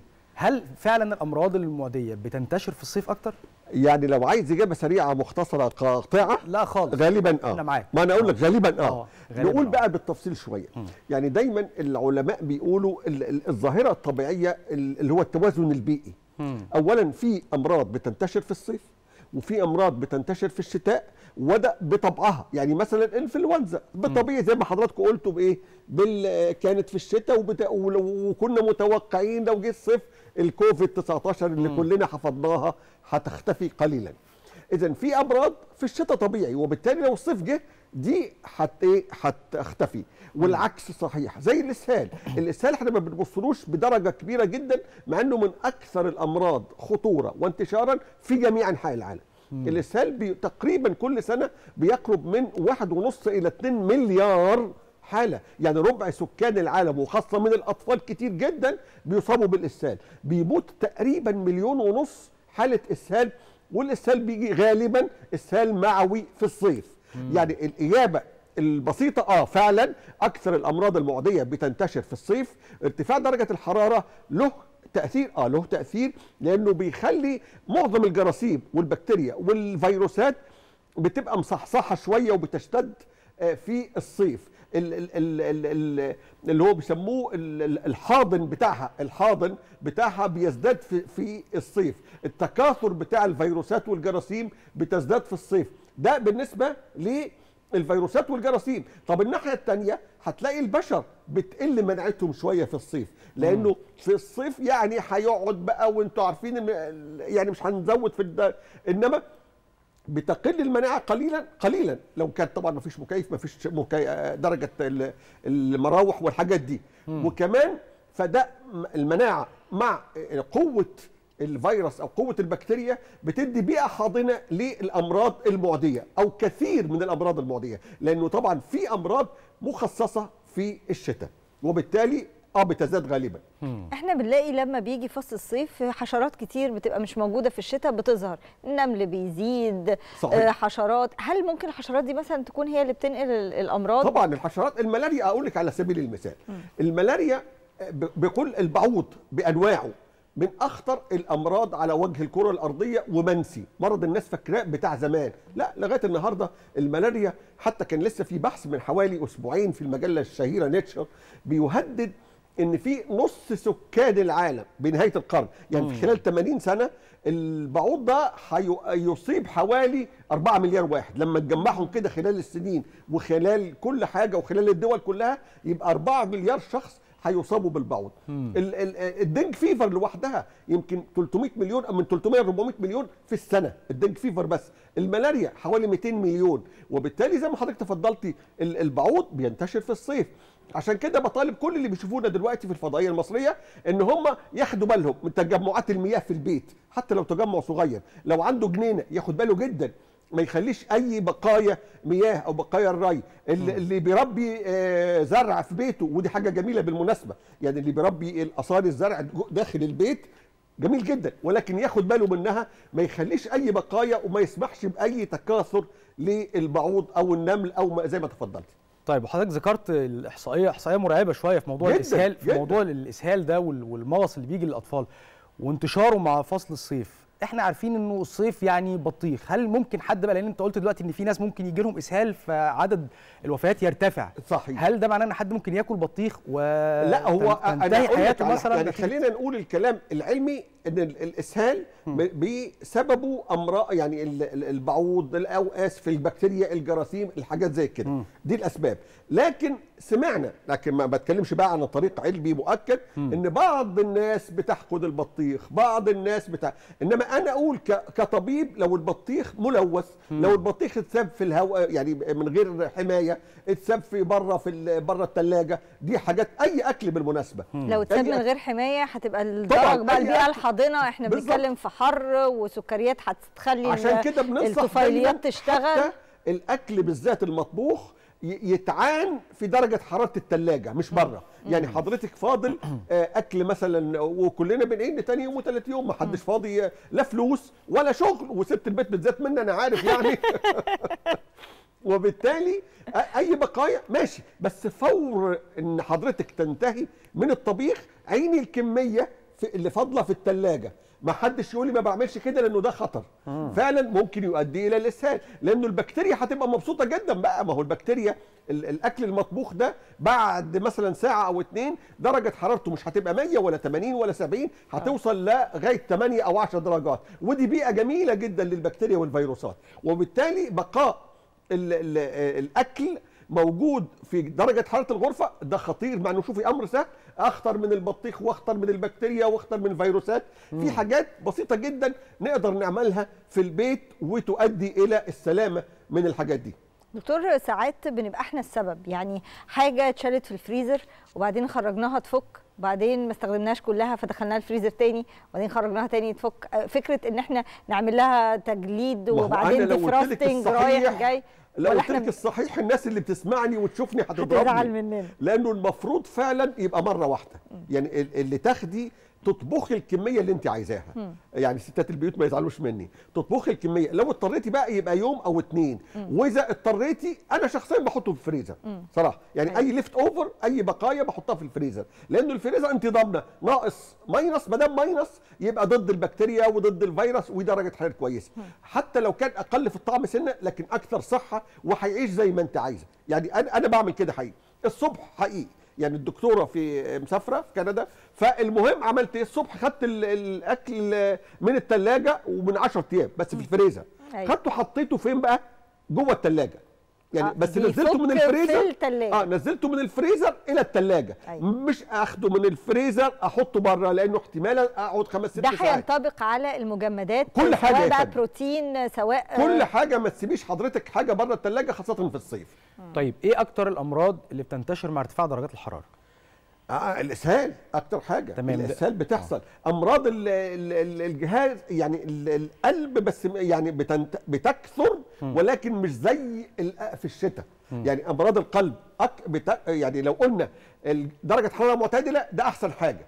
في الصيف هتزداد شوية أمراض قلبية لكن في الشتاء برضو بتزداد أكتر عشان بيبقى الشغل جامد على ضيق الشرايين وضيق الأوردة فالقلب بيشتغل أكتر طب لكن بالنسبة امراض للأمراض القلب المعدية؟ بتزيد مم. الأمراض التنفسية بتزيد جدا مم. الأمراض المعدية بتنتشر جدا غالبية منها بتنتشر لأنه البعوض والدبان و و و عشان كده يمكن آه، ال- ال- ال- ال- الحفوري ال- الوقود الاحفوري أو الاحتباس الحراري إحنا بنحذر منه ليه؟ وبنقول إنه خطير جدا ليه؟ لأنه الاحتباس الحراري درجة الحرارة بتاعه الكوكب بترتفع. درجة الحرارة بتاعه الكوكب بترتفع ليه؟ آه، لأنه ال- ال- الوقود الأحفوري يعني اللي هو غالبا ال- ال- النفط والفحم والغاز. إما الناس البشر بيستخدموهم بتطلع الميثان وثاني أكسيد الكربون غالبا وتبقى داخل الغلاف الجوي. يعني زي ما يكون في بطانية كده منع ال- الغازات دي إنها تخرج بره الأرض. مم. وبالتالي بتخلي الكرة الأرضية مرتفعة. وعشان كده العلماء خايفين من ارتفاع الأمراض المعدية ارتفاع الطفيليات أمراض الطفيليات ارتفاع الجفاف هينتشر جدا لأنه درجه الحرارة لما ترتفع البحيرات والأمطار والأنهار بيحذرونا. بأشياء مخيفة جدا. هيحصل جفاف. وفي المقابل قد يحصل حتى في مناطق تانية آه، آه، آه، أمطار وفيضانات لأنه اللي فيها مياه هتتبخر أكتر ويحصل فيضانات وبالتالي تؤدي إلى كوارث. فارتفاع درجة الحرارة إذا كنا بنتكلم عن الكون بنت- بنتكلم على الاحتباس الحراري طبعا في مخاطر صحية جامدة زي ما قلنا الجفاف زي ما قلنا عملية عكسية ال- ال- العواصف والأمطار وكمان ال- ال- الجوع. لأنه الجفاف بيؤثر على ال- ال- الاغذيه مش بتطلع المحاصيل كويس بتموت. واظن كلنا بنعاني بعض السنين لما بنلاقيش طماطم ما نلاقيش فواكه علشان ارتفاع درجة الحرارة. فتأثير درجات الحرارة وخاصة لو كان من الاحتباس الحراري بيبقى سيء جدا على البشر سواء بطريقة مباشرة أو بطريقة غير مباشرة. بيبقى سيء على البشر ولكن ما بيبقاش سيء على ال- البكتيريا وال- والفنجاي وغيرها. يعني إحنا بنلاقي إن بعض الأمراض زي الحصبة وال نعم. وال أنت قلت كلام مهم جدا والحاجات اللي هي شبه على دي حاجة جدا. بنلاقيها منتشرة بين الأطفال وكمان ساعات الكبار في يعني خليني أقول كويس وسؤال جميل بس أختلف معاكي في الإجابة. مش جميل قوي. آه آه. لأنه دايما الحصبة والحاجات دي بتتوقف على إحنا خدنا التحصين ولا لا. أيوة. يعني لو خدنا التحصين درجه الحرارة ارتفعت ما ارتفعتش غالبا الحمد لله بتبقى solid immunity بتبقى تمام التمام. إنما ارتفاع درجات الحرارة فعلا بيؤدي إلى آه، آه، نشاط معظم البكتيريا ونشاط معظم الجراثيم بيزود درجات الحرارة. لكن في المقابل بعض الحاجات لأ زي ما قلنا الإنفلونزا. وبالتالي المحصلة بتزداد لكن في بعض الكائنات الحية آه، بتنشط. في الصيف وبعضها بيضعف في الصيف لكن ال- ال- النهاية لا أكثر خطورة الصيف طيب هل نتوقع ظهور مثلا متحورات جديدة للفيروسات بسبب احتمال كبير جدا لأنه يعني ربنا خلق التوازن البيئي ده مهم جدا مم. البيئة النبات بيطلع وتطلع حيوانات ضخمة جدا والضخمة آه، القانون بتاع الغابة القوي يأكل الضعيف ده توازن بيئي إحنا مم. ما نعرفوش إلى حد كبير والغاز بي بي يعني ال- النبات قصدي الحيوانات بعض كتير من الحيوانات بتتغذى على النبات وبالتالي بتحتفظ بدرجات الحرارة والميثان وثاني اكسيد الكربون والأكسجين. كل ال- التنوع الفظيع ده والتوازن بين ال- ال- ال- البيئة والحيوان والنبات ده مهم جدا. اختلال التوازن ده طبعا بالطبع ممكن يؤدي إلى ظهور بعض الحاجات اللي بيحذر منها كتير من العلماء. دكتور يعني لسه في بحث من أسبوع واحد آه، بس أنا حقيقي مش طيب. عايز أقوله لأنه آه، دايما العلماء بيتكلموا بعيد عن المنطقية بيحذر جدا من الاختلال في التوازن البيئي وارتفاع درجة الحرارة وهيهدد الكوكب والكويكب. كفاية بقى. أنا مش عايز أقول قول لهم كفاية تهديد كفاية بقى. لسه ما طلعناش من كوفيد 19 طيب دكتور إحنا بنقول إن لما بناخد فاكسين وبناخد تطعيمات أكيد ده بيؤدي لكسر الحلقة اللي ب... يعني دورة الحياة صحيح. اللي بتبقى خاصة صدقت. بالفيروس. لكن لما بنقول الوقاية اللي نقدر نعملها إحنا التطهير والتنظيف برافو. بحيث إن إحنا نعمل إيه وما يبقاش برضو زيادة لأن إحنا لما بنبالغ في استخدام المنظفات بنأثر على البيئة بنأثر على صدرنا بنأثر على الأطفال. أقول لك على مش. عارفين نعمل إيه. تخيلي منظمة الصحة العالمية وال CDC الأمريكي دول أكثر ناس ال CDC أكبر مراكز في العالم كله للسيطرة على الأمراض أكثر من حوالي يمكن 100000 متخصص فيها. ده بيقول هو مع منظمة الصحة العالمية WHO بيقولوا the most single preventive measure إيه هو. تخيلي مش الت... برافو عليك برافو عليك يا من. المية والصابون قولوا ده أحسن مطهر وأحسن وسيلة وقائية في العالم كله الطريقة البدائية الغسيل أو غسل الإيد بالمية والصابون لمدة لا تقل عن 30 ثانية وبانتظام ولازم نعمل كده لازم مم. يبقى كده لازم بنبقى 20 ل مستعجلين 30 إحنا ثانية. دايما. لا آه. وإلا هتبقى تزود طين مش تغسل. فلازم من 20 إلى 30 ثانية مع الدعك وتحط في الأصابع كده وتعمل كده وبعدين تنشف الإيد. تخيلي الح- الحاجة البسيطة دي على الأقل يعني هو يقال ده the most important preventive measures وبالتالي واحد الغسل الإيد النظافة اتنين زي ما تفضلتي إن إحنا آه الإتيكيت بتاع ال- اللي إحنا كلنا حفظناه عشان ال respiratory disease إيه بتشاوري أو تكوني متشاوري لا بيعمل لا حاجة غلط لا لا. بتغسل إيدك. آه والله لا والله يا فندم فالحاجات دي والتحصينات مهمة جدا في أي أي ساعة ما الدولة تقول لك تحصين أو كامب أو معسكر لازم كلنا نعمل. والتحصينات بالذات للأطفال الصغيرين لازم كلنا ناخد طب التحصينات. الأسطح يعني إحنا اتكلمنا عن الإيدين هنعمل إزاي لسه الأسطح؟ لسه الاسطح الأكل المباشر. ما هو آه. عشان تزودي مناعتك لازم تاكلي أكل متوازن. وتاخدي أكل متوازن أكتر حاجة فواكه وخضروات وأظن كلنا حافظين الحمد لله الفاكهة المصرية والخضار المصري في الصيف هايل ويعني كلنا سافرنا بره وعرفنا إن الفاكهة المصرية بالذات والخضار أطعم من أي حاجة بره وبالتالي أنا بنادي الكل ياخد الطبق الصحي اللي هو فيه الفاكهة والخضار والدوشة دي. يبقى هنزود المناعة هننام ننام سبع ثمان ساعات ونقلل ال- طبعا مفيش تدخين مفيش كحوليات وإلا لو عملنا ست سبع حاجات دول بنزود المناعة. هتزودي المناعة هتقدري تحاربي الفيروسات وتحاربي الميكروبات تقدري تتغلبي على كتير من امراض الصيف وأهم حاجة في الصيف بقى إن ناخد من 8 إلى 10 أكواب من الماء. لو حضرتك في بيتك لو في مكتبك لكن لو أنت بره وبتشتغل بره أو سايق عربيتك كل ساعة كل ساعة بره البيت تزود كمان كوباية. إحنا بنقول من 8 ل 10 لو انت قاعد جوه البيت أو جوه حاجة مكيفة. إنما لو بره يبقوا 20 كوباية مية في ممكن اليوم. توصل فعلا. وده آه. مطلوب لأنه اولا لما تشرب مية كتير هتضطر تروح الحمام هتروح الحمام يعني هتتحرك.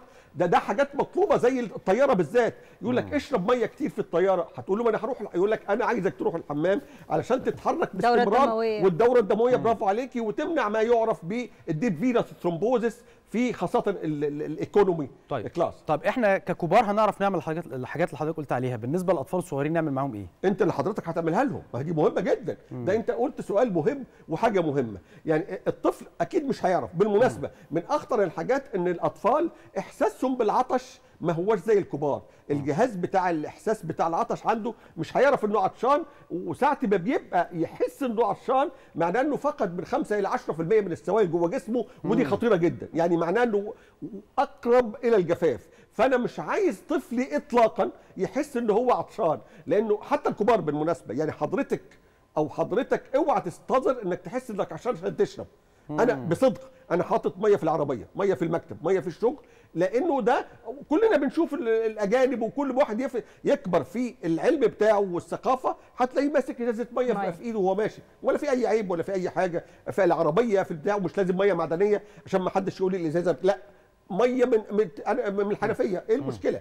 لكن لازم تشرب وما تنتظرش العطش وإلا هيبقى أنت قاربت إنك توصل لمرحلة الجفاف ودي من أخطر أمراض الصيف. ده اللي هنحافظ عليه الفترة الجاية. إزازة المية هتكون موجودة صحيح جنبنا. هنغسل إيدينا كويس والفواكه قوي. والخضروات مفيش تدخين في الصيف اطلاقا. التدخين ده ممنوع تماما. والله وطبعا النوم. سبع ثمان ساعات وممنوع التوتر. no stress يعني هتقول لي إزاي ما أعرفش؟ هتقول لي اللي بيحصل في غزة مش عارفين من stress ما أعرفش. هتقول لي ال- ال- الارتفاع مش عارف درجة. لازم حضرتك تتعلم درجة الحرارة وتتاسف تتعلم تتكيف مع الضغوط علشان تقدر تزود المناعة بتاعتك. بنشكر حضرتك يا فندم جزيل الشكر الدكتور عبد اللطيف المرء أستاذ الطب الوقائي والصحة العامة بجامعة الزقازيق شكرا جزيلا ليك. مشاهدينا خليكم معانا نروح لفاصل ونرجع نكمل معاكم باقي حلقات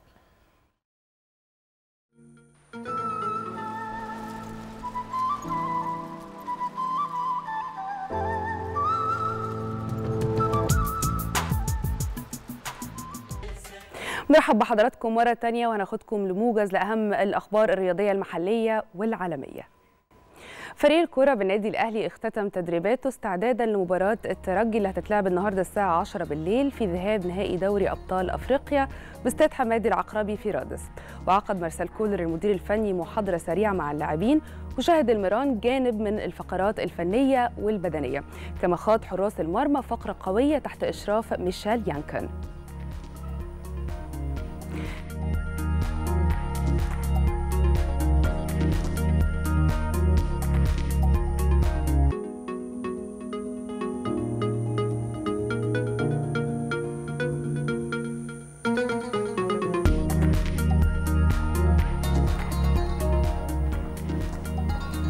البرتغالي جوزيه جوميز المدير الفني للفريق الأول لكرة القدم أعلن القائمة اللي هتخوض مباراة نهضة بركان المغربي في إياب نهائي بطولة كأس الكونفدرالية واللي هتتلعب بكرة باستاد القاهرة الدولي.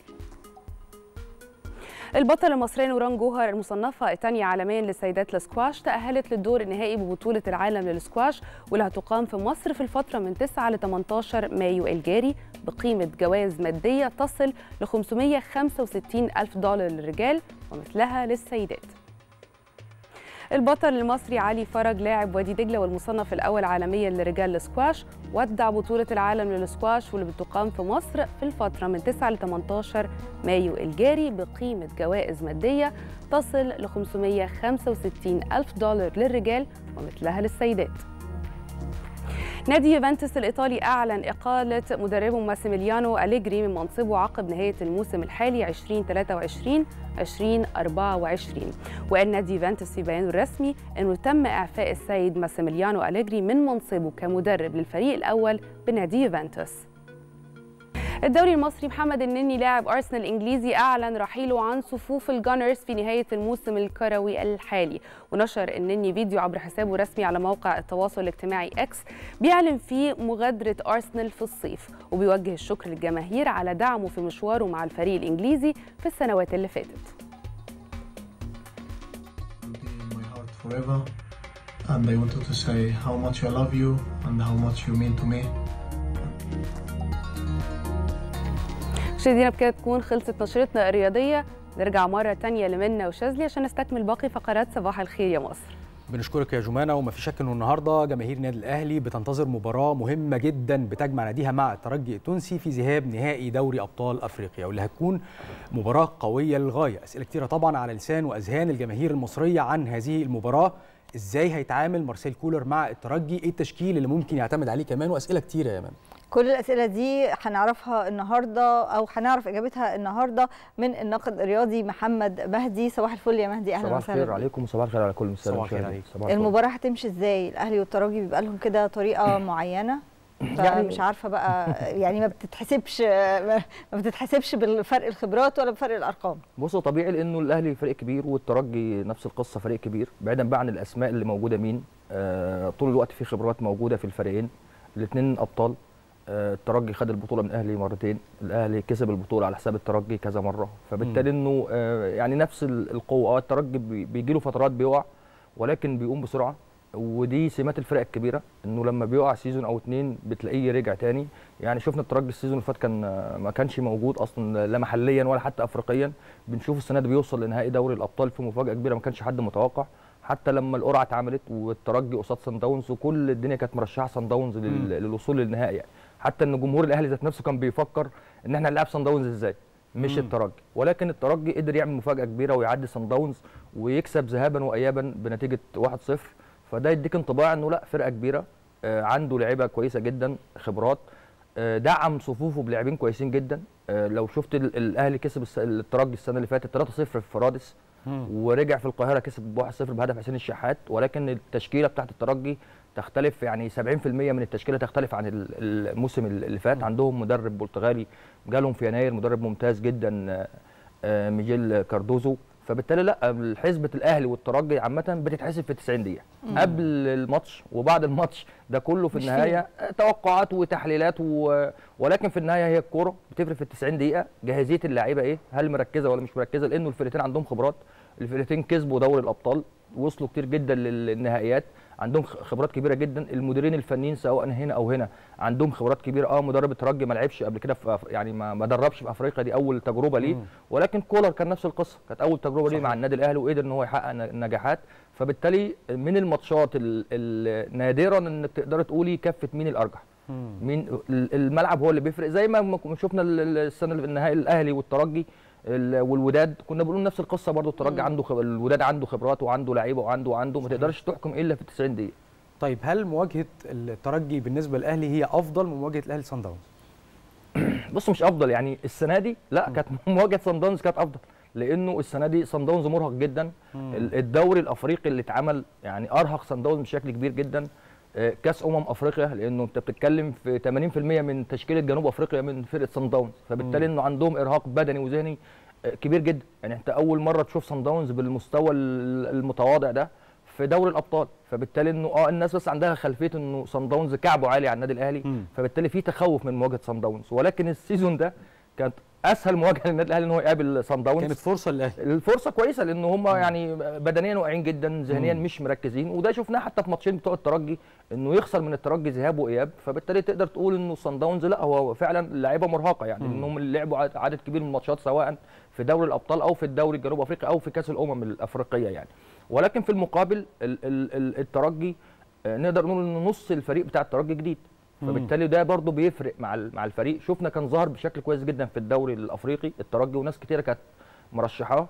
وقبل بداية الدوري الناس كلها ما كانتش عاملة حساب الترجي لأنه ليه موسمين مش موجود يعني مم. في أفريقيا يعني. لكن عمل ماتشات كويسة جدا في الدوري ال- الأفريقي. بنوا عليه في دوري الأبطال بقى ماشي كويس جدا بدوري الأبطال ويوصل لل- للمباراة النهائية. فبالتالي المباراة صعبة جدا. الترجي عنده آه، تيم تقيل جدا. هجوميا ودفاعيا وعنده حارس مرمى قوي جدا أمين الله مميش فبالتالي متماسك في كل الخطوط. يكفي أنت بتتكلم في 8 ماتشات الترجي لا- يعني لم تهتز شباكه. فبالتالي ده يديك مؤشر برضو إن لا عنده صلابة دفاعية قوية جدا وعنده قدرة تهديفية هجومية لأن عنده اثنين برازيليين آه، يان ساسي ورودريجو آه، رودريجيز اثنين برازيليين جابوهم في السنة اللي فاتت. فبالتالي إنه عاملين شغله كويس جدا مع الترجي يعني. آه، كاردوزو بقاله يمكن ثلاث شهور تقريبا أو ثلاث شهور وحاجة بسيطة مع الترجي. النهارده المباراة المية آه، آه، النادي الأهلي آه، مع المدرب بتاعه. فإحنا بنتكلم في إن إحنا لو فكرنا كده أعتقد إن في قراءة للملعب هتبقى مختلفة. أكيد كولر ليه فترة مع مع النادي الأهلي وتوج ببطولات محلية وأفريقية وكأس عالم للأندية. فبالتالي إنه بقى حافظ بشكل كبير يعني وضع النادي الأهلي إيه في, في, في أفريقيا يعني. كنا قلقانين آه في الأول لما جه إنه أول مرة يبقى في أفريقيا ولكن خلاص بقى متمرس يعني في. في أفريقيا فبالتالي كولر بقى حافظ آه، كل حاجة حتى ردوده حتى في المؤتمرات الصحفية بقت يعني آه، أكثر عقلانية من, فاهم من الأول بقى فاهم طبيعة الجماهير أو. الجماهير عايزة إيه بالظبط آه، بالظبط بيخاطب حتى يعني الجماهير. في المؤتمر الصحفي امبارح لما اتسأل من الصحفيين عن الشناوي ولا شوبير اللي هيقف جون ضحك ف- وما اتكلمش ضحك وخلاص يعني مم. الأول كان لأ بي يعني بيقول أصل الجمهور قال مش عارف يعمل إيه ومش هتعمل إيه. فبالتالي هو عدى مرحلة تليفوني عشان عايزين تعملوا آه تغييرات بالظبط لأ هو كان في ماتش من الماتشات في الدوري المحلي لما بيتسال على التغييرات أنت مأخرها يعني قال إنه الجمهور قال طب أنا لما بعمل تغييرات متأخرة بتزعلوا لما بعمل تغييرات بدري برضه بتزعلوا. فبالتالي إنه لا بقى متمرس بشكل كبير جدا لعيبه النادي الأهلي أنت برضه بتتكلمي في خمس يعني خامس نهائي على التوالي لعيبه النادي الأهلي موجودين في النهائي. كسبت ثلاثة دوري الأبطال وخسرت الماتش بتاع الوداد وده الخامس فبالتالي إنه إنجاز كبير لعيبه النادي الأهلي وده بيدي انطباع إنه لهم عندهم يعني عدد من الخبرات آه، مهولة. أنت بتتكلمي في خمس سنين النادي الأهلي بيوصل للمباراة النهائية فبالتالي لأ يعني حاجة كبيرة جدا إنه خلاص هو بقى بيتساوى الأهلي بريال مدريد إنه دوري الأبطال أوروبا ريال مدريد ودوري أبطال أفريقيا النادي الأهلي. الخبرات كتيرة جدا. هي القصة بتتوقف على بقى الحالة البدنية والنفسية لل... والذهنية للاعيبه في ال 90 دقيقة. مم. مع الضغط الجماهيري آه، مع ملعب رادس الأهلي خسر كتير في رادس وكسب كتير في رادس. فبالتالي هي التعامل ده هو اللي هيفرق في المباراة. بعيدا بقى عن خطط خطط اللعب والطرق والمدير الفني وبتاع لأنه في حاجات في النهاية هي هي قصة لعيبة. ما ممكن المدرب يبقى عامل كل حاجة. ولكن إنه اللعيبة مش جاهزة يوم ال- ال- المباراة مش مستعدة ذهنيا وفنيا للمباراة. ده اللي هيفرق في القصة. وفي المقابل الترجي عنده برضه مدرب كويس جدا. يعني آه آه لا تشوف الماتشات الترجي اتغير بشكل كبير مع المدرب. وكان عندهم طارق ثابت آه، تم يعني تبديله بال- بالمدرب البرتغالي ده. وتشوفه على الخط لا طول الوقت هو ما hyper بيتحرك كتير جدا. عامل. يعني style يورجن كلوب كده بيتحرك كتير وبيتكلم. وبيزعق في اللعيبة وبتاع. فده برضو يديك انطباع انه لعيبة الترجي حتى آه، توقفاتها في الملعب وطريقة اللعب مختلفة عن السابق يعني. طيب انت قلت نفسيا ده هيبان يوم المباراة. قد يكون في ضغوط على اللعيبة فتظهر على أرض الملعب. لكن بدنيا هل كل آه، أعضاء الفريق مستعدين؟ النادي الأهلي جاهز. وكولر ال- الم- المباريات اللي فاتت في في ال- في الدوري كان بيعمل روتيشن بشكل كبير جدا. مم. فبالتالي إنه حتى الماتش الأخير ريح عدد كبير جدا من اللاعبين. شفنا علي معلول ريح شفنا محمد عبد المنعم وإلى آخره وأسامة أبو علي كان يعني آه، خارج المباراة. فبالتالي إنه هو استعد كويس جدا للمباراة النهائية أو المباراتين الذهاب والإياب. وريح عدد كبير جدا من اللاعبين. فبالتالي إنه بقوا جاهزين بدنيا للمباراة مش مرهقين بشكل كبير يعني. لأنه القايمة برضو في في النهاية قايمة النادي الأهلي قايمة كبيرة. فبالتالي إنه قدر هو الفترة اللي فاتت يستخدم كل الأوراق اللي معاه وشفنا ناس بدلاء بيلعبوا بشكل أساسي. مين بقى؟ مين؟ قول لنا كده ب- على الأسماء. مثلا آه، ال rotation ده أفرز مين؟ لا مش أفرز مين؟ مم. ولكن يعني إداك القوام الرئيسي بتاعك. ال 11 لاعب بتوعك تمام. ما عندهمش مشكلة بدنية مش مش واقعين منك بدنيا. لأن أنت كان عندك مشكلة في محمد عبد المنعم بيلعب باستمرار. مم. لما ريح الماتش اللي فات بتاع البل- البلدية خلاص هو يعني بقى آه، مش مش مضغوط في. اللعب. علي معلول كان بيلعب باستمرار فبالتالي اداله ماتشين إن هو يريح فيهم. فبالتالي استعاد كامل لياقته ال- البدنية. مم. محمد هاني اداله راحة الماتش اللي فات فبالتالي إنه بقى جاهز يعني للمباراة. آه، وسام أبو علي المهاجم الفريق كان برضه ما لعبش ماتش البلدية. بقى جاهز أكتر بدنيا للمباراة. فبالتالي إن هو حافظ على ال 11 بتوعه أو القانون الأساسي إنه ما يلعبوش كل الماتشات اللي فاتت يلعبوا أجزاء من المباريات أو يغيبوا مباريات عشان يبقوا جاهزين لماتشات الترجي. فبالتالي الأهلي ما عندوش برضه غيابات آه، مؤثرة. لكن كل القوام بتاعه موجود. ونفس التشكيلة أنا أعتقد إن هي ثابتة مش هتتغير كتير عن اللي إحنا شفناها ال- يعني الماتشات اللي فاتت. مصطفى شوبير في حراسة المرمى خلاص تم الاستقرار عليه رغم وجود محمد الشناوي ودعمه ومؤازرته للفريق في في تونس. وجاهز الشناوي جاهز. جاهز خلاص طالما. دخل القايمة جاهز. ولكن آه خلاص أنت يعني بتلعب بمصطفى شوبير بتتكلم في, في ست ماتشات أو سبع ماتشات بيحافظ على نظافة شباكه. فبالتالي إنه من الظلم إنك أنت تحرمه من المباراة النهائية. لازم يكمل آه آه مبارياته. وفي زي مثلا بيقول إنه هي لما بتبقى شغالة ما يعني ما تلعبش فيها. ممكن يحصل فيها أي حاجة. ماشي زي ريال مدريد كده عايز نازل آه. كورتوا. لا ما هو هو في فرق بين الاثنين لأنه كورتوا أحسن حارس في العالم. مريح بقاله كتير قوي. ما مريح عشان الصليبي. ما أنا فاهم. رجع. لكن لو أنت برضو شفت في ماتش بايرن ميونخ ما هو كان جاهز. ما لعبش. كان على الدكة. ولونين هو اللي لعب حارس أساسي. فبالتالي هو أنشيلوتي اداله في الماتشات الدوري المحلي الدوري الأسباني. اديله ماتش عشان ياخد. الأجواء. حتى لما اتكلم في المؤتمر. قال بقى لنا ماتشين في الدوري الأسباني لونين هيلعب ماتش وكورتو هيلعب ماتش ما اتكلمش برضو عن نهائي دوري الأبطال مين هيلعب أو مين مش. هيلعب يعني وقد تفاجئ يوم الماتش تلاقي لونين هو حارس الأساس لريال مدريد في في, في النهائي يعني مم. فبالتالي إنه مصطفى هو الأفضل دلوقتي هو اللي جاهز هو اللي رجله في الملعب محافظ على شباكه صحيح الجمهور ذات نفسه أصلا بقى مطمن إن مصطفى بقى موجود في حراسة ال- المرمى فما تقدرش تلعب في الحتة دي محمد هاني طبعا في ال back آه، back right علي معلول back left والاثنين المساكين رامي ربيعة ومحمد عبد المنعم. نص الملعب بقى هو اللي هيبقى فيه يعني مم. شوية تغييرات ولكن أداء أكرم توفيق بيلعب ليه كذا ماتش بيظهر بمستوى كويس. آه، مروان عطية موجود. آه، إمام عاشور أدي الثلاثه في نص الملعب وعندك الثلاثه اللي قدام بحسين الشحات وبيرسي تاو ووسام أبو علي. فأعتقد إنه ده بنسبة 100% هو تشكيل النادي الأهلي النهارده. النهارده أفضل حاجة ممكنة المفروض الاهلي يعملها علشان يبقى حاسس إنه في السليم وضامن. في السليم يرجع يرجع كسبان يعني. دي أفضل حاجة. خلينا نقول سيناريوهات متعددة. لا ما هو طول الوقت أنت يعني التارجت بتاعك إن أنا ما أخسرش في في في في, رادس. أرجع من هناك وأنا وأنا كسبان. والاهلي عمل عمل ده. السنة اللي فاتت الاهلي كسب 3-0 في, في ملعب رادس. فبالتالي عنده القدرة يعمل ده وعنده اللعيبة اللي تنفذ ده وعنده اللعيبة اللي تسجل الأهداف في, في, في الترجي. فبالتالي أفضل نتيجة طبعا إن الأهلي يرجع كسبان من هناك. النتيجة الثانية إن الأهلي يتعادل هناك في في, في تونس. مم. النتيجه إيجابية 1 1 2 2 فيرجع في القاهرة يقدر يعوض في القصة النتيجة السلبية طبعا إن الأهلي يخسر بأي نتيجة من ال- ال- الترجي. ولكن النتيجة السلبية برضو الخسارة بتفرق. 2 0 غير 1 0 غير 2 1 كل ده هيفرق معاك في ماتش العودة لأنك تقدري تعوضي بسهولة. لو انت كسبانة بره فالأمور بالنسبة لك أسهل في مباراة العودة في القاهرة. امن آه وافضل بالظبط. لو التعادل برضه هيبقى أسهل بالنسبة لك كتير. لو الخسارة بفارق هدف في, تونس تقدري تعوضي كده في هنا في القاهرة. زي ما الزمالك عمل مع نهضة بركان.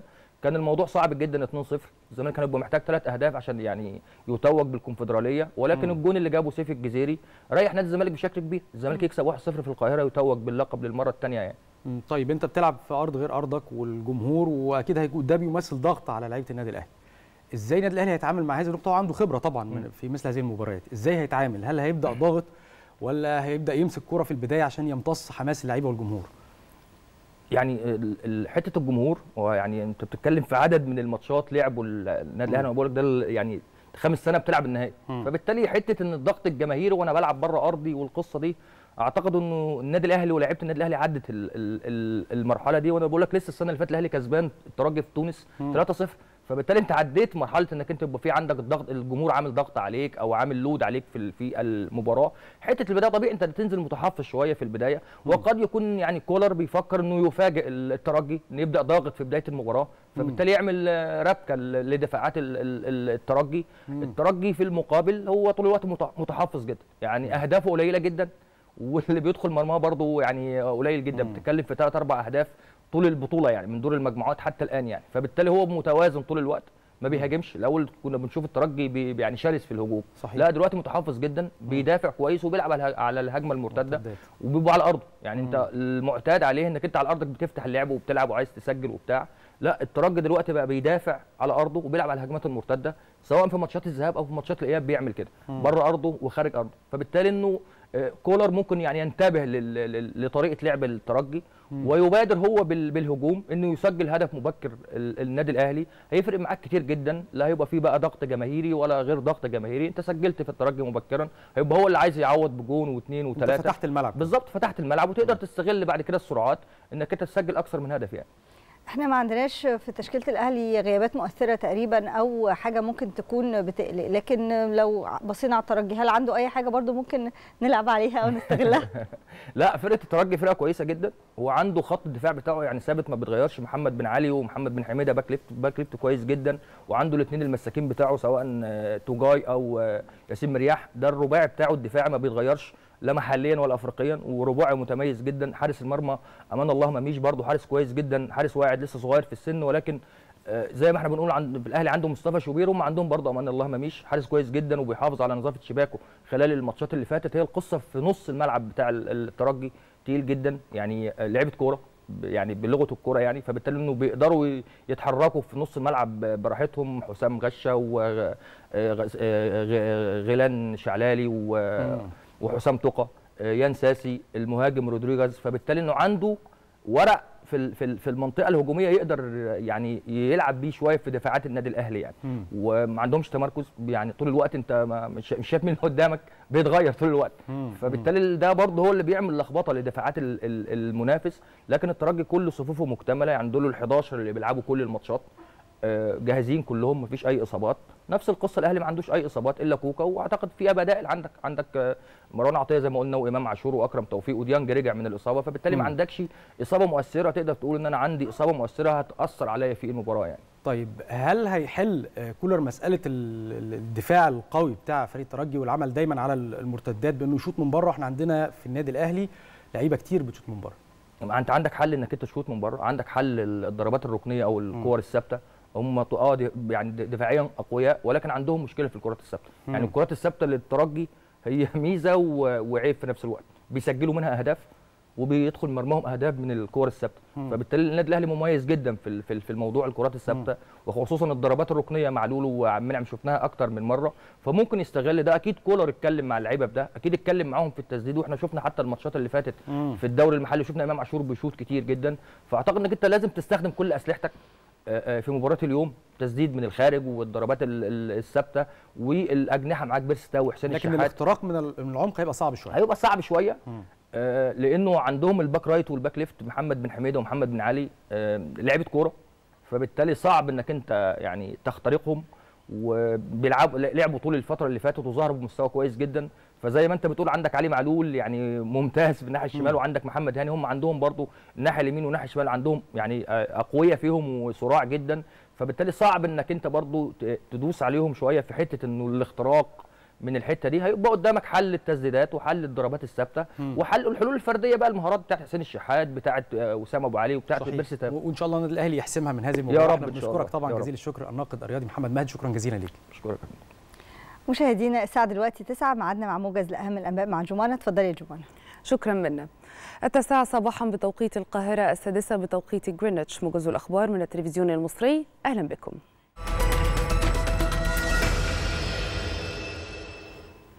أكد وزير الخارجية سامح شكري على ضرورة امتثال إسرائيل لالتزاماتها كقوة قائمة بالاحتلال من خلال فتح جميع المعابر البرية بين إسرائيل والقطاع وتحقيق النفاذ الكامل للمساعدات الإنسانية والإغاثية إلى قطاع غزة.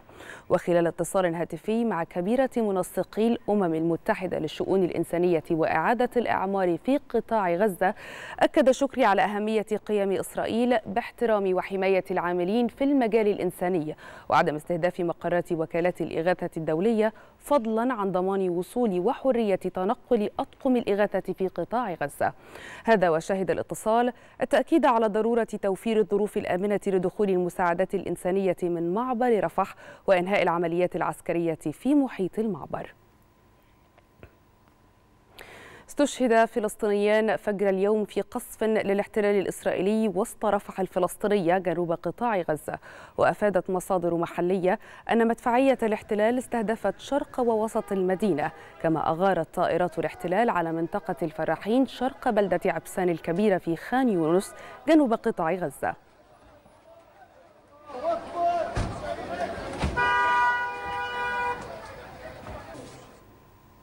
أعلنت منظمة الصحة العالمية عدم تلقيها أي إمدادات طبية في قطاع غزة منذ السادس من مايو الجاري. وقال المتحدث باسم المنظمة الأممية في جنيف طارق يساريفيتش أن إغلاق معبر رفح يضع المنظمة في وضع صعب فيما يتعلق بتنقل العاملين في المجال الطبي فضلا عن تناوب موظفي الأمم المتحدة والفرق الطبية مشيرا إلى أنه رغم تمكن المنظمة من توزيع بعض الإمدادات إلا أن النقص خبير وبشكل خاص المحروقات اللازمة لتشغيل المستشفيات. قال منسق الاتصالات الاستراتيجية في مجلس الأمن القومي الأمريكي جون كيربي إن الولايات المتحدة لا ترغب في احتلال القوات الإسرائيلية لقطاع غزة. وأكد المسؤول الأمريكي أن الإدارة الأمريكية تبحث وضع غزة بعد الحرب مع الشركاء الإقليميين. وأوضح أن هدف الإدارة الأمريكية هو عودة الهدوء للقطاع وحماية المدنيين وإعادة المحتجزين. مشيرا إلى أن الرصيف العائم الذي شيدته الولايات المتحدة قبالة سواحل قطاع غزة ليس بديلا للممرات البرية ولا يمكن لهذا الرصيف أن يعوض كل ما يمكن نقله عبر الممرات.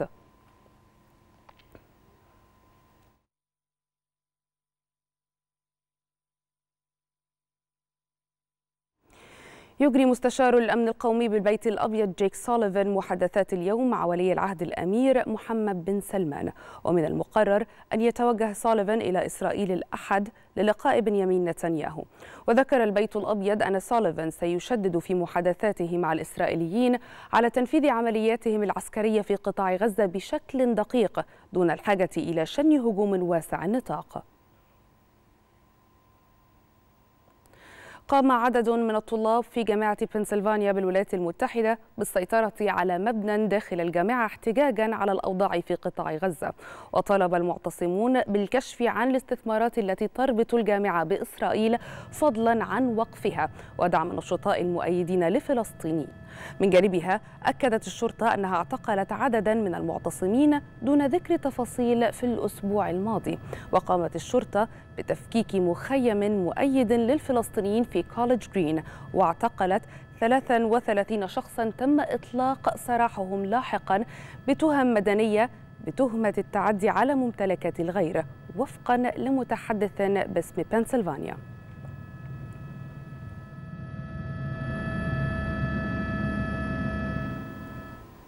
أعلنت هيئة عمليات التجارة البحرية البريطانية أن سفينة تعرضت لأضرار طفيفة في البحر الأحمر بعد إصابتها بجسم مجهول على بعد 76 ميلا بحريا شمال غربي الحديدة باليمن.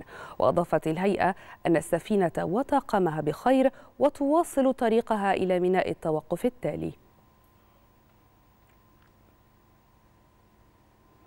قتل شخص وأصيب آخر في هجوم أوكراني بطائرة مسيرة على مدينة بلغرود الروسية. وقال حاكم المنطقة فياتشيزلاف لاكوف أن الطائرة المسيرة ضربت قرية نوفايا نوموفكا داخل الحدود الروسية. وذكرت وزارة الدفاع الروسية في وقت لاحق أن وحدات الدفاع الجوي اعترضت ودمرت 14 صاروخا أطلقت من أوكرانيا. أفادت وكالة الأنباء المركزية الكورية بأن الزعيم الكوري الشمالي كيم جونغ أون أشرف على اختبار صاروخ باليستي تكتيكي بتكنولوجيا توجيه جديدة. كان جيش كوريا الجنوبية قد أعلن أن كوريا الشمالية أطلقت عددا من الصواريخ الباليستية قصيرة المدى صوب البحر قبالة ساحلها الشرقي.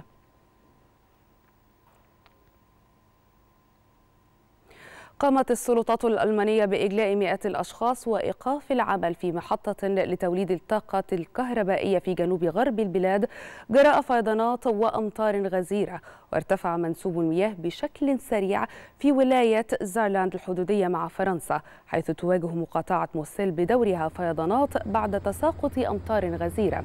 وفي ولاية راينلاند بالاتينات المجاورة حيث يجرى أيضا أو يجري أيضا نهر زار. دعا عناصر الإطفاء نحو 200 من سكان بلدة شودن إلى مغادرة منازلهم في ظل ارتفاع منسوب المياه.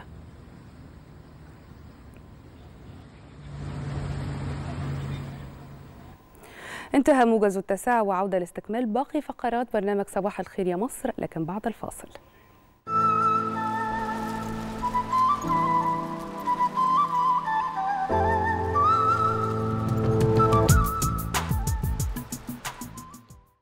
وزارة التربية والتعليم عملت إجراءات مختلفة السنة دي في امتحانات نهاية العام الدراسي خصوصا لطلاب الثانوية العامة زي مثلا مراقبة اللجان بالكاميرات وكمان التفتيش المستمر للطلاب قبل دخول الامتحانات وده لمنع تسريب الامتحانات وكمان منع محاولة أي غش من الطلاب. لكن إزاي الطلاب هيتعاملوا مع هذه المحظورات؟ ده مهم جدا اللي طبعا حددتها الوزارة خلال الامتحانات وانعكاسات هذه المحظورات على تقليل نسب الغش وعدم تسريب ال- الامتحانات. كل هذه التفاصيل هيجاوبنا عليها دلوقتي ضيفنا اللي منورنا في الاستوديو دكتور محمد خليل الخبير التعليمي. صباح الخير عليك يا دكتور. صباح الخير يا فندم. أهلا يا أهلا بحضرتك. أهلا بيك فندم. لو برضو لو حضرتك في البداية كده نذكر إخواتنا الصغيرين من آه، طلاب الثانوية العامة بأهم وأبرز المحظورات. هو طبعا شهادات النقل إعدادي وثانوي كده كده بايام ديت عندهم امتحانات. ففي البداية خالص نستعين بالله سبحانه وتعالى ونهدئ أعصابنا كده أهوت. وشويه كده مشي أو ترايض خفيف كده إيه قبل الامتحان ب 10 دقائق تهدئه أعصاب بلاش قهوة ونسكافيه كتير وشاي كتير. فكرة إن أنا أطبق طول الليل دي فكرة آه، خاطئة تماما صحيا ونفسيا. وطبعا مش عايز أتطرق طبعا لأولياء الأمور بس أولياء الأمور مهم جدا جزء من نجاح منظومة التعليم. ال parents أولياء الأمور أو ما يسمى في بعض الأحيان mommies الأمهات طبعا كل التحية ليهم آه، أيوة، أكد على النقطة دي، الله آه، يخليك. طبعا آه. جروبات التوتر صح بس هو التوتر من باب الحب والخوف لا. معلش أنا أنا عايزة أعترض على المسمى. جروبات الدعم النفسي والدعم التعليمي. صح جدا. بس في نفس الوقت حضرتك اللي حاصل إن ممكن الماميز دولت من كتر ما أنا خايف على ولادي أنا. بوتره. اللي هو أنا كل ربع ساعة والله العظيم ما بيحسوا. ولا بيحصل لهم ما حاجة. ولا بيتوتروا ولا يا رب بس يحسوا أصلا إن عندهم امتحانات هي دي قضية برضو شائكة جدا جدا. إن إحنا عامة في طرق التدريس بشكل عام عارفين إن التكنولوجي والتكنولوجيا والذكاء الصناعي وال social media ومنصات التواصل الاجتماعي والتيك توك والحاجات دي مأثرة جدا على ال attention span أو قدرة قدرة استيعاب استيعابية لل- للشباب والطلاب. فهم الطلاب الأيام ديت قاعدين تلاقيه وهو قاعد بيذاكر كل ربع ساعة يروح يبص على فيديو. كل 10 دقائق يبص على الواتساب بيصور فيديو و- آه، وهو قاعد. بيذاكر أصلا فده بيخلي ساعات ال mommies في حالة صريخ دائم وتوتر دائم خاصة الطلاب اللي هم سن المراهقة اللي هو تاني إعدادي تالتة إعدادي. لغاية ثانوي فإحنا لازم نعرف إن أنا كطالب آه لازم ما أوترش نفسي بس هو المشكلة إن أنا عندي أولياء أمور برضو بي بيعملوا تأهيل نفسي جدا داخل البيت إن أنا بطمن ابني بفكره دايما بالغذاء الصحي الجميل. حاول يا ابني ما تسهرش لكن للأسف طبعا العادات الجديدة مع دخول ال social media والتواصل الاجتماعي بيخلي الطلبة طول الوقت مشتتين. وده بيأثر على تركيز الطالب وبيخلي الطالب داخل الامتحان مشتت جدا جدا. حضرتك بس معلومة كده هوت في طرق التركيز أو في التركيز أو في ال concentration بشكل عام لما إحنا بنقعد على الفيسبوك أو تيك توك والحاجات دي بنقعد نتفرج على فيديوهات ما لهاش علاقة ببعض. حاجة دينية على حاجة ترفيهية على حاجة تعليمية على برنامج. ده بيعمل للمخ بشكل تشتيت. عام حالة تشتيت مم. وبنسميها زي nuggets of information بالإنجليزي nuggets كأن حاجات كده مش مش مفيدة ولكن بتلخبطني المعلومات ورا بعض فده بيخلي الواحد مننا كطالب في سن صغير مشتت وبيأثر على للأسف طبعا دي عايزة لها حلقة تانية طبعا مم. الذكاء الكلامي مع الشباب حتى يمكن حضرتك لاحظتم الجيل الجديد يعني إلا طبعا في ناس كويسة طبعا ممتازين وشباب واعي طبعاً. بس كتير منهم عندهم الذكاء الكلامي أقل من الأجيال السابقة قعدتي على على ال mobile phone قعدتي على ال tablets مأثره كتير فكل ده بيأثر على التحصيل التعليمي اللي بيطلع في الامتحان مم. اللي بيخليني في الآخر حاسس طب أنا قلقان وتعبان إيه أسهل حل طب أنا على ال social media على الواتساب في امتحان ممكن يتسرب مم. وهو ده علاقة بالبرنامج عندنا النهارده مم. إن إحنا حاسين. أنا كشاب متوتر جدا أهلي قاعدين يصرخوا فيا عشان حاسين بالمسؤولية إن أنا مش لسه مسؤول قوي. وفي نفس الوقت بيقولوا قوم يلا ذاكر ذاكر.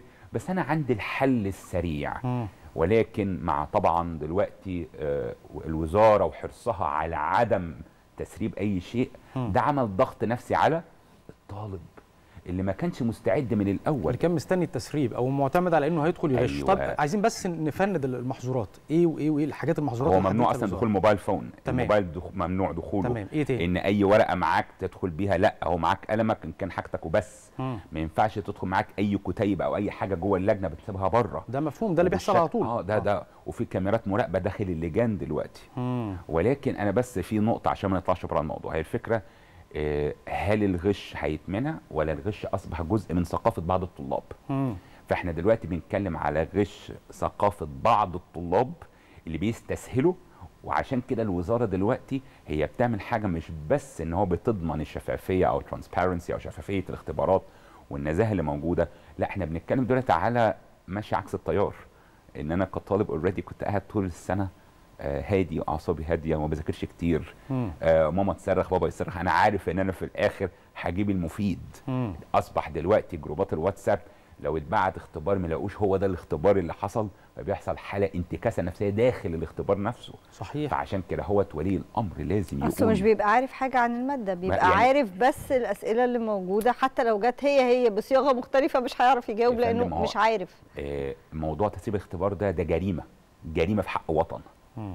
إن أنا أعود ابني أو سوري يعني مجرمين بيعودوا جيل شباب إن أنت هيجي لك الدنيا من غير ما تتعب من غير أي حاجة هيجي لك كل حاجة فدي تغذية لثقافة غش فاللي بيحصل في الآخر إن أنا كطالب لما ألاقي حاجة مبعوتها لي يقول لك ده أكيد بكرة مم. أدخل ألاقي حاجة تانية فده كده إجرام حقيقي فبالشكل دوت الجروبات دي ساعات بس. الإجرام مجرد إنها مبعوتالي مش الإجرام إن أنا ضحك عليا وبعت لي حاجة لا تانية. ده هما الاثنين إن أنا ببعتها لي وكمان غشتك في غش في الجريمة. اللي أنا بعملها فالطالب بيدخل بيجي له صدمة فبيسيب الورقه إحنا زمان يمكن اللي كان بيساعدنا أكتر ال- المحافظات. لما كنا بنحل امتحانات المحافظات في السنين السابقة فكنت بتتعود على أنماط مختلفة من الاسئله هو هو نفس المنهج لكن أنماط مختلفة من الأسئلة فده كان بيساعدك وبيؤهلك لأن أنت أي سؤال موجود قدامك هتعرف تتعامل معاه هتفهم السؤال عايز إيه وهتجاوب مش حافظ نص السؤال لو تغير طريقة السؤال أو كده أنت بت... ب... أيوه ده كده حضرتك بقى بنتكلم في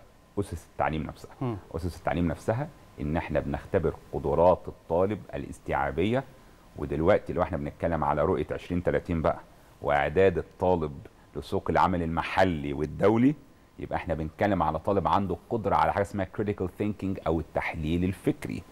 والقدرة على إن أنا أقدر أتناول مشاكل وحلول. عشان كده دلوقتي طبعا الدول العظمى في التعليم مش بتتكلم على منهج أحفظه. عشان كده إحنا دلوقتي بس إحنا عندنا تعديل كبير في المناهج تعديل وفي طريقة بيحصل. التعامل وفي امتحانات الشهر وفي أسلوب الامتحان. وفي المنصات اللي موجودة فيها الأسئلة اللي شاذي بيتكلم عليها ان امتحان المحافظات كنا بنستناه علشان نعمله الشهادات. الم... المعادلة كانت بتعتمد على ال past papers وغيرها لكن المنصة دلوقتي مش مستنيين هي موجودة من دي 1 موجودة ومتشالة ومحطوطة على المنصات الامتحانات اللي فاتت إيه- بأساليبها المختلفة ده شيء رائع مع التعديل اللي بيحصل في التعليم وأولياء والطلاب شايفين الكلام ده عايزين برضو إن أولياء الأمور يساعدوا في كده. إن أنا طبعاً. أشجع ابني ده طب, طب افتح بقى شوف إيه اللي بيحصل. ولكن أنا برضو مش هتطرق لبعض أولياء الأمور اللي عايزين يضمنوا إن اللجنة كويسة.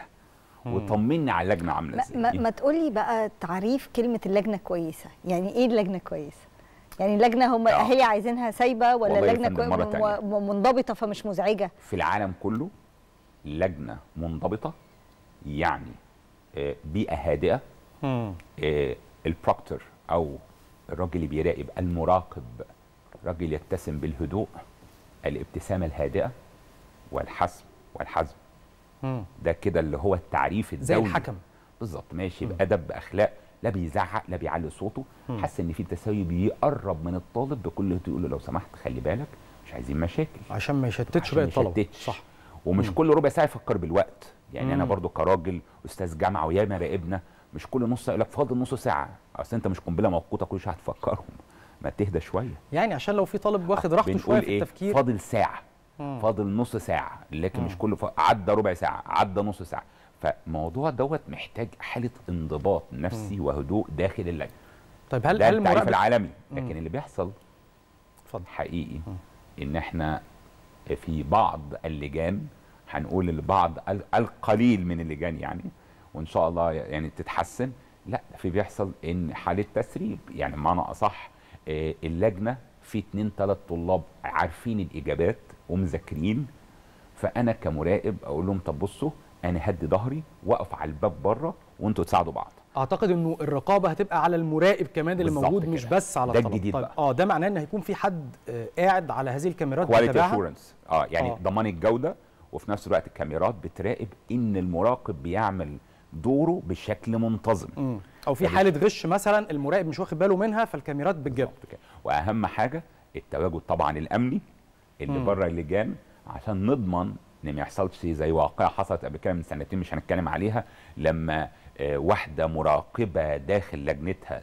عملت انضباط فأولياء الأمور كانوا مستنيين عشان كانوا يضربوها فاحنا بالشكل دوت مش عايزين ده يحصل في احدى المحافظات يعني مم. واحدى القرى في المحافظات بس ده مش الشائع بس بشكل عام لا لازم ناخد بالنا إن لازم يكون في التواجد الأمني مم. وداخل الكاميرات واطمن الموبايلات والحاجات دي مش موجودة جوه طيب فكرة الأهالي إنها تبقى عارفة آه، مين المراقب ومين مشرف الدور ومين المشرف على المدرسة و- وكل الحاجات أشبه ده نضمن إزاي انه ما يبقاش في اي علاقات مباشرة ما بينهم نضمن إزاي انه ما يبقاش في اي نوع من انواع الاتصال بيؤثر على جودة المراقبة اللي ويبقى المساواة بين الطلبة كلهم هو إحنا لازم نأكد إن النظام المتبع في الفترة الحالية إن بيحصل زي حالة ريشافلنج أو تغيير للمراقبين فأنا المدرس اللي موجود داخل المدرسة بيروح مدرسة مم. وده بيجي مدرسين تانيين فأنا اللي واقف على الطلاب مش مدرسينهم. اللي عارفينهم من هم ابتدائي أو من هم. صغيرين وعارفين أهاليهم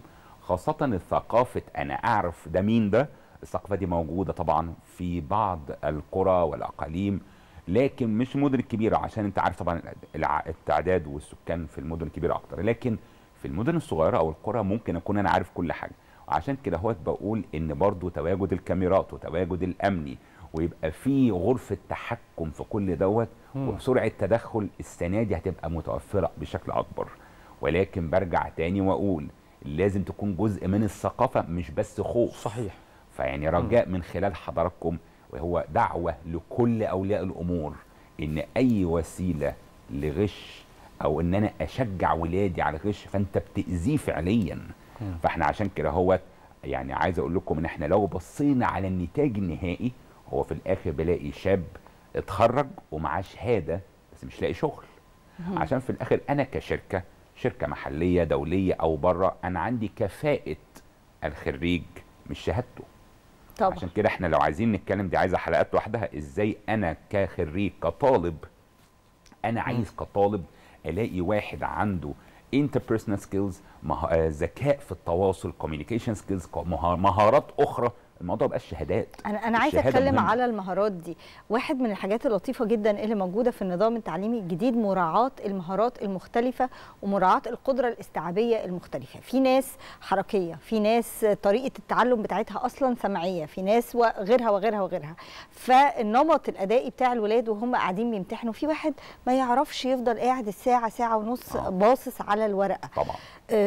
ده بيبقى معروف إزاي؟ هل المدرسين بتبقى قايلة؟ هل بيبقى يعني مش هنقول إنه يقوم يتمشى في اللجنة ويرجع يقعد تاني بس بيبقى مسموح له بهامش من الحركة بحيث مش هيقدر يفكر طول ما هو ثابت مثلا لازم- وغيره. فاحنا وده حاجة مراعيها المناهج الجديدة. في آه، عند الشباب ذكوات متعددة بشكل. عام. الذكوات المتعددة لهاورد جاردنر أو العالم أو الكبير طبعا إن إزاي في بعض الطلاب عندهم ذكاء حركي ذكاء آه، كلامي. ذكاء في التواصل. فالذكوات المتعددة ديت دلوقتي إحنا لازم نعترف بيها. ولكن at the end of the day أو في نهاية المطاف أنا عندي اختبار لازم أنت تقعد بالورقة والقلم وتكتب. طبعا. لكن أثناء العام الدراسي في حاجة اسمها مشاريع. مم. وعايز ناخد بالنا من حاجة برضو إن المدارس بتختلف المنهجية بتاعتها.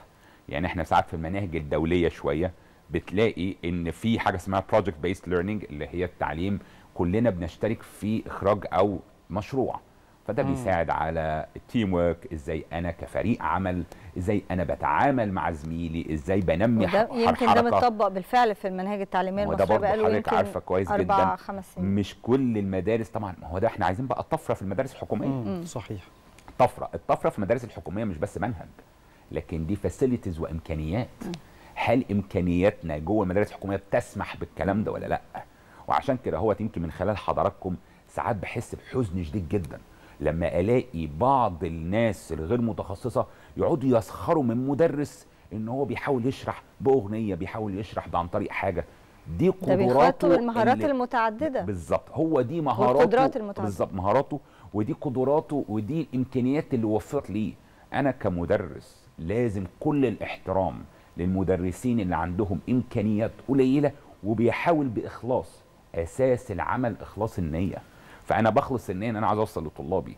ومعيش غير آه، سبورة وقلم أو طباشير أو أي حاجة وبوصل وبحاول أتكلم في عدد عدد جوه الطلبة جوه الفصل زحمة جدا بس أنا بحاول اقومهم بدل ما أسخر منهم في السوشيال ميديا والناس تقعد تتريق على التعليم لازم نقعد نتكلم إزاي ممكن نساعد الناس ديت. بفصول أقل إزاي ممكن يبقى في تطوع ان إحنا نبني مدارس أكتر؟ وهي دي بصراحة أهم إحنا المشاكل. وصلنا اولادنا لأن هم ما ياخدوش المعلومة غير بهذا الشكل واعتقد دي بإيدينا زي ما كنت حضرتك بتتكلم. ممكن تفكرتني دلوقتي بأيام زمان بقى وأيام المدرسة. أنا وقت الامتحانات كان بيبقى عندي حاجة غريبة شوية. بقعد أبص للناس وأنا قاعد في أنا مش بغش. آه. أنا ببقى مذاكر كويس جدا. الحمد لله. ومن الناس الملتزمين طول السنة مش باجي طبعاً. أتضغط مثلا فترة الامتحانات. لا كنت ببقى من الناس الملتزمين فعلا. بس أجي وقت ال- الامتحانات وأنا قاعد كده في اللجنة مربك.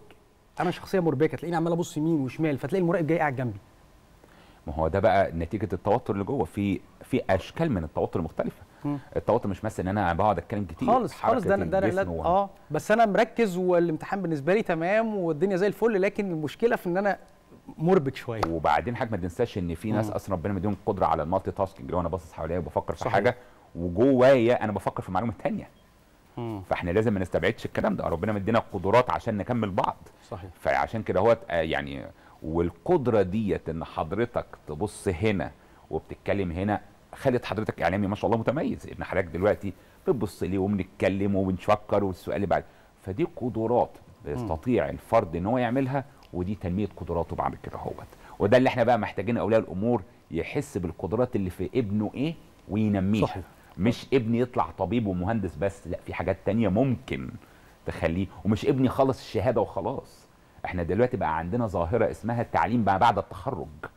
اللي هو أنا ابني خلص إعدادي وثانوي وجا خد الشهاده هنخلص؟ امتحانات إعدادي عايز وثانوي. ونعمل فقرة التعليم ما بعد التخرج. إن شاء الله. كل الشكر ليك الدكتور شكراً. محمد خليل الخبير. التعليمي نورتنا وشرفتنا. شكرا لوجود حضرتك. معانا دلوقتي مشاهدينا نروح لفاصل سريع ونرجع من بعده نكمل باقي فقرات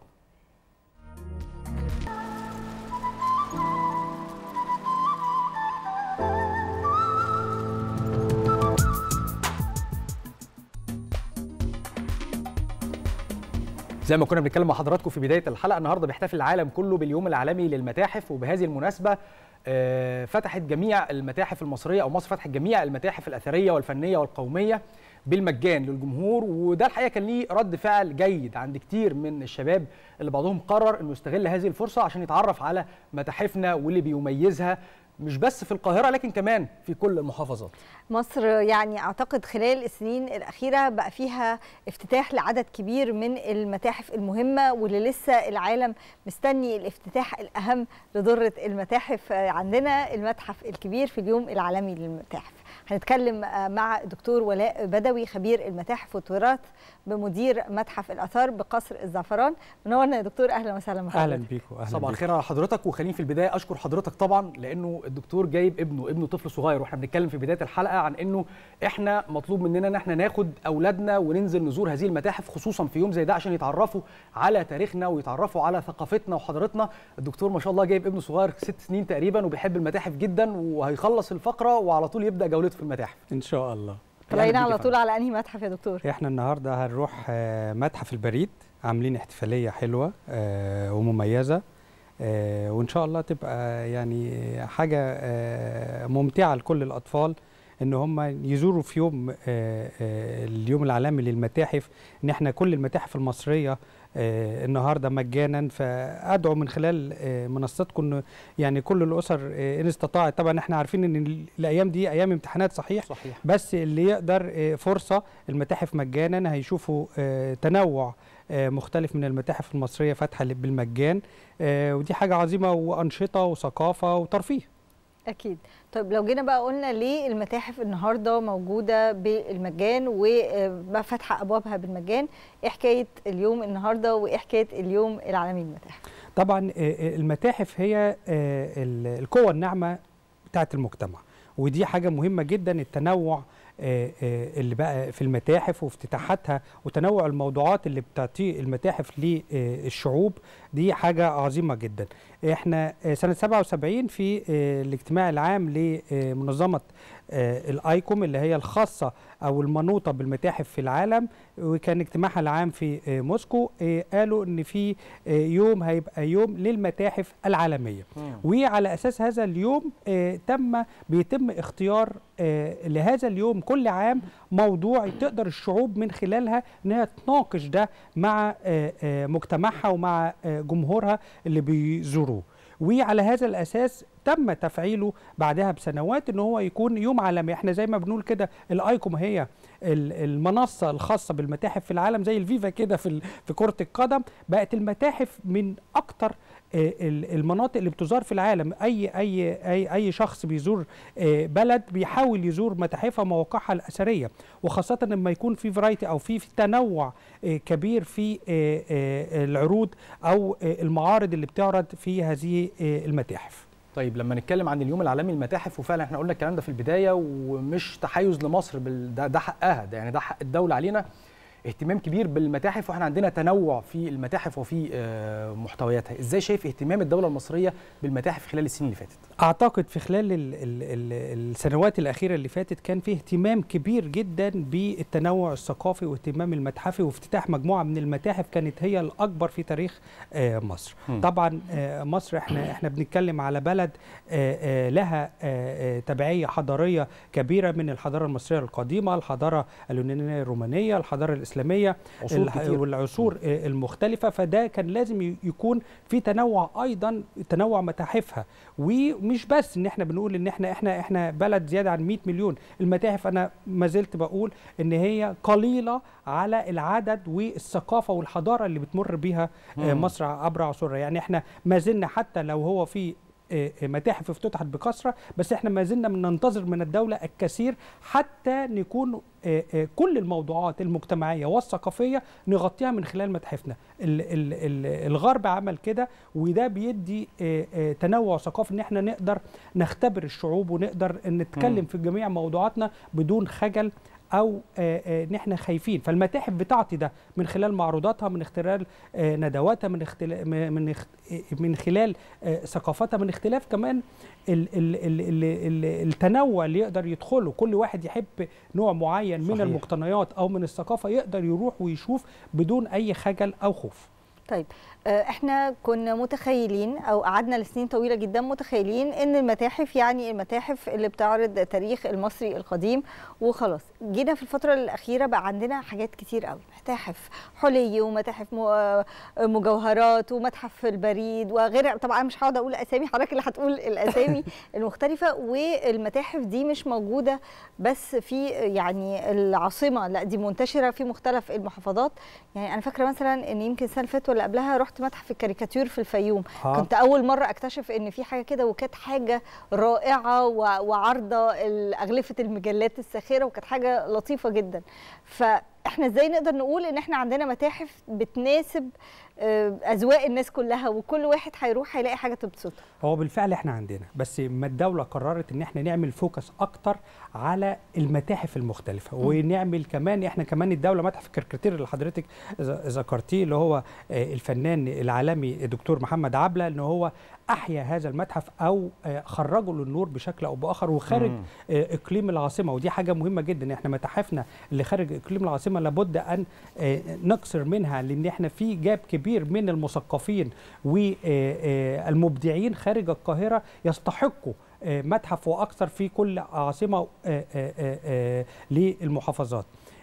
التنوع اللي حصل في المتاحف ده إما الدولة قررت إن إحنا زي ما قلت في الأول القوة الناعمة بتاعت. المجتمع هي الثقافة هي المتاحف هي مقتنياتك هي ثقافتك هي حضارتك هي تاريخك اللي إحنا بنحاول نخرجه للعالم. إحنا شفنا منذ سنوات آه، آه، ال- الإبداع والإبهار في عرض المومياوات آه، ونقلها إلى متحف الحضارة في افتتاح متحف الحضارة سنة 21 فده إدى أكتر للإعلام والميديا والمجتمع طبعا السوشيال ميديا بقت مهمه جدا ومنصاتكم بقت صحيح. آه، آه، جدا إن هي مهمة عشان تثقف ال ال ال الشعوب والجمهور إن هو يخرج لولا إن إحنا بنقول ده الناس كانت ممكن يكون ده بيحصل بس لولا المنصات المختلفة بتقول إن. في يوم النهارده مم. للمتاحف اخرجوا آه، واستمتعوا وهيبقى في أنشطة وهيبقى في ثقافة وهيبقى. في إمتاع للأطفال وللكبار ده من خلال ال- السوشيال ميديا والميديا بصفة عامة والإعلام.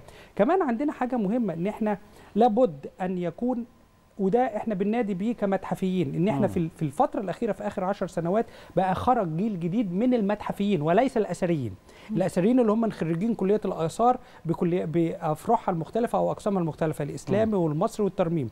أما ال- الآن بقى في جيل جديد من المتحفيين اللي هم خرجوا عملوا ماجستير ودكتوراه في علم المتاحف وليس علم الآثار وهو بقى في تنوع وبقى في أكثر خصوصية وأكثر مم. تعلما وأكثر احترافية ومن خلال ده إن إحنا بنقول لابد أن يكون المتحفيين هم اللي بيديروا المتاحف المصرية صحيح. ده التخصص لأن هو بتاعهم. علم التخصص مم. أنا خلاص بقى هو بقى علم متفرع من علم الآثار ولكن له افرعه ولها تخصصاته المختلفة اللي إحنا بنقول وعشان كده اما بدأ يبقى في متخصصين بدأوا يتكلموا أكتر. بلغه المجتمع باللي هو عايزه بنستمتع بيه ونقدر ده من. خلال المتاحف نشوفه الثورة اللي حصلت في الفترة الأخيرة طيب إحنا عندنا في مصر كنوز كتيرة جدا ومتاحف يمكن مش غالبية الناس تعرفها زي مثلا متحف جير أندرسون متحف التحنيط في قصر محمد علي اللي في المنيل لو حضرتك تكلمنا متحف عن الصيد الصيد. آه. وفي في في المتحف الصيد ده في آه، مجموعة من الصيد. محنط آه. لأن أنا أنا كنت المدير السابق لمتحف قصر محمد علي لمدة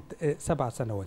إحنا عندنا مجموعة ويمكن ده تصنيف المتاحف العالمي اللي هو المتاحف الآثار متاحف التاريخية متاحف البيوت التاريخية المتاحف النوعية بصفة عامة. وعشان كده إن إحنا مم. آه، ممكن ده في المستقبل أتمنى إن هو يبقى في مجلس أعلى للمتاحف. وده يبقى فيه شخصية آه، آه، آه، متحفية كبيرة تدير هذا المنظومة. لأن إحنا عندنا إحنا بنتكلم دايما على المتاحف الخاصة بوزارة السياحة والآثار فقط. ولكن كل وزارة ممكن يبقى عندها متحف أو اتنين بتعرض فيه. إحنا عندنا المتحف مثلا زي متحف الجيولوجي ده متحف من أهم المتاحف المصرية اللي ممكن يكون مش عليه تسليط الضوء. متحف البريد وزارة ال- الاتصالات عاملة متحف رائع للبريد المصري عبر آه، آه، آه، آه، آه، عصوره المختلفة زي ما. قلت حضرتك متحف مثلا تاريخي زي جاير اندرسون أو بيت الكريتلية متحف قصر محمد علي هو من المتاحف البيوت التاريخية المهمة اللي هو فيه متحفين متحف آه، برايفت آه، آه، متحف خاص الامير كانت مقتنياته اللي هو اقتناها عبر عصوره وأعتقد إن ده هيبقى يكون آه، هيفتتح قريب وكمان مم. متحف الصيد اللي هي كانت خاصة مقتنيات الأمير مع مقتنيات الأمير يوسف كمال وإحدى مقتنيات آه، الملك فاروق بعد ثورة 52 فتعمل إما بيتعمل هذه المتاحف وتنوعها الناس بتشوف زي ما قلت لكم كده تنوع مختلف من المقتنيات صحيح. تقدر تستمتع بيه حسب خلينا الجمهور. ناخد الناس ونروح نشوف مع بعض من المتحف المصري في التحرير بث مباشر مع زميلنا محمود جميل اللي موجود هناك في المتحف وبيتابع فتح المتحف لأبوابه للجمهور بالمجان بمناسبة اليوم العالمي للمتاحف صباح الخير عليك يا محمود صباح الخير عليك يا منى صباح الخير عليك يا شاذلي وعلى ضيفكم الكريم. بصبح على كل مشاهدي ومتابعي برنامج صباح الخير يا مصر في كل مكان.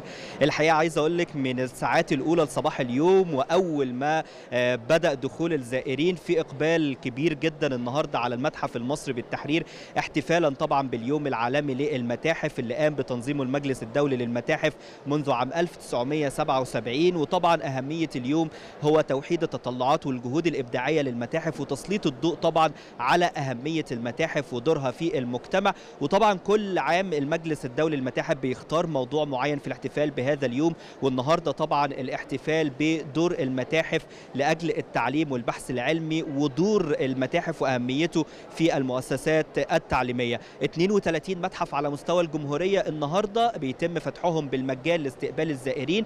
هيكون في ورش طبعا يعني للزائرين وهيكون في جولات للتعريف بمقتنيات ومقتنيات المتاحف إيه اللي هيحصل بالظبط في المتحف المصري في التحرير.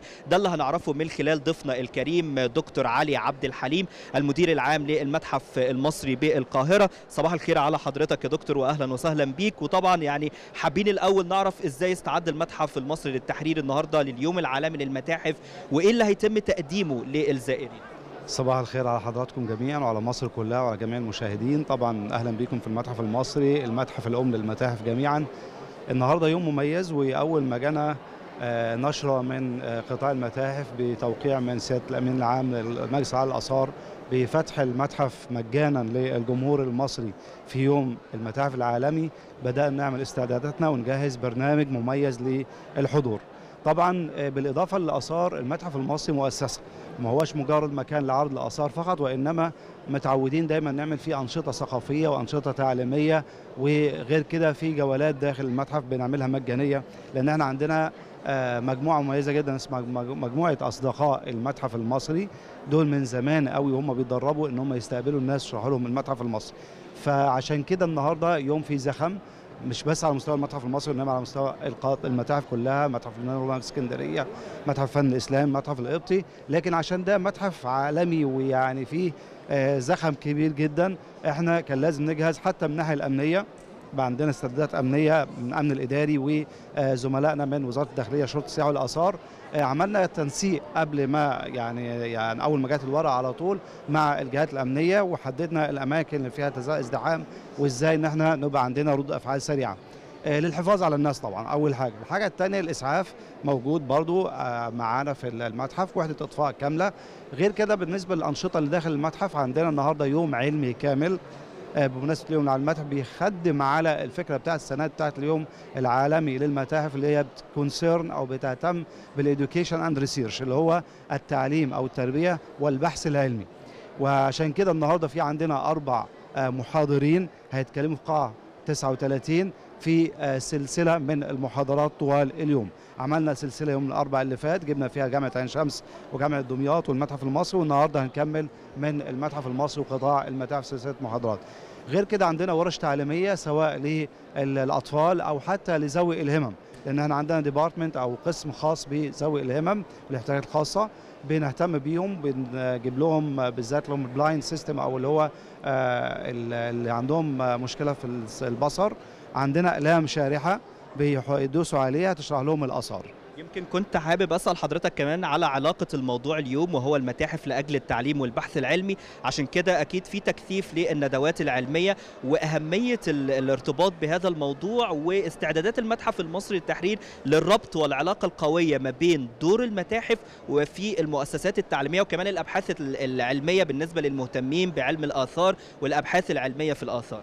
ده حقيقي. إحنا عندنا حتى من الناحية العلمية آه، يعني جيت أدور على عدد الأبحاث اللي خرجت من المتحف المصري ما قدرتش أعدها. على مستوى العالم بلغات مختلفة المتحف المصري من 1902 وقت افتتاحه بينتج كمية أبحاث لعلماء آثار أجانب ومصريين وعرب يعني على مدار السنين اللي فاتت. عشان كده السنة دي جبنا شخصية مصرية مميزة عالمة آثار لها دور إداري وعلمي داخل المتحف المصري اسمها الدكتورة ضياء أبو غازي. دي كانت مديرة المتحف المصري وأول حد يستلم عهدة من المصريين. يعني الأجانب كانوا هم اللي بيديروا المتحف المصري زمان هي أول حد مصري يستلم عهدة بتاعت المتحف المصري. وبعد كده هي اللي نظمت المكتبة بتاعت المتحف المصري وإحنا النهارده بشكل استثنائي فاتحينها. ما إحنا ما بتفتحش بس فاتحينها النهارده وعاملين لها معرض مؤقت على شرفها. الكتالوج اللي هي عاملاه لكل الكتب بتاعت المتحف ال- آه، مكتبة المتحف المصري معروض منها نماذج عندنا معروض آه، السيرة الذاتية بتاعتها وبعض الصور بتاعتها. يمكن الاحتفال باليوم العالمي للمتاحف في هذا العام بيأتي في وسط تطوير طبعا لمنظومة المتاحف على مستوى الجمهورية وتحديدا المتحف المصري للتحرير في التحرير طبعا. وكان في تقريبا عملية تطوير من فترة أنا كنت شاهد عليها طبعا في تطوير بعض القاعات وإضافة بعض المقتريات. لو حضرتك تكلمنا على آه، ميزة الاحتفال مع تطوير المتحف المصري بالتحرير آه، طبعا هو شكل جديد. يعني المتحف بيظهر النهارده بثوب جديد بشكل جديد خصوصا بعد ما انتهت المرحلة الأولى من التطوير المشتركه بين المتحف المصري والاتحاد الأوروبي أو وزارة السياحه والآثار والاتحاد الأوروبي. أول مرة الجمهور المصري يشوف بالعدد الكبير ده الصالات اللي تم تطويرها. عندنا صالات أساسية بالذات اللي في واجهة المتحف. أول ما نخش على طول يمين وشماله في الوش دي تم تطويرهم تماما. هي فترة ما قبل التاريخ والدولة القديمة والعصر اليوناني الروماني. عندنا فوق قاعة تانيس ودي تم تطويرها علشان تكون بديل مكان قاعة توت عنخ آمون اللي هيروح المتحف الكبير. فهو البطل بتاع المتحف الكبير هو توت عنخ امون لما هيمشي هيبقى عندنا بطل تاني هو مجموعة آه، تانيس اللي هي من شرق الدلتا. دي فيها ذهب وفضة يعني تضاهي المجموعة بتاعة توت عنخ امون أنا بشكر حضرتك شكرا جزيلا دكتور علي عبد الحليم مدير عام المتحف المصري بالقاهرة. شكرا جزيلا. يعني مشاهدينا الكرام زي ما استمعنا لدكتور علي في النهارده جولات حلوة قوي ويمكن دي بنقول خروجة لكل اللي بيحب الآثار طبعا وخاصة المتاحف لكل اللي بيحب الأبحاث العلمية في الآثار. وفرصة من خلال برنامج صباح الخير يا مصر إن إحنا لسه في بداية اليوم والحقيقة في إقبال كبير جدا من المصريين ومن العرب ومن الأجانب كمان. آه، فالحقيقة ده كمان بي- بي- بيبسطنا إحنا إنه يعني السياحة عندنا لسه بخير وطبعا سياحة مصر لسه هتفضل متميزة طبعا بمكانتها وتاريخ مصر آه، ال- العريق والحضارة العريقه إحنا بنتكلم النهارده على إن المتحف المصري في التحرير موجود وفاتح أبوابه لحد الساعة 5 مساء.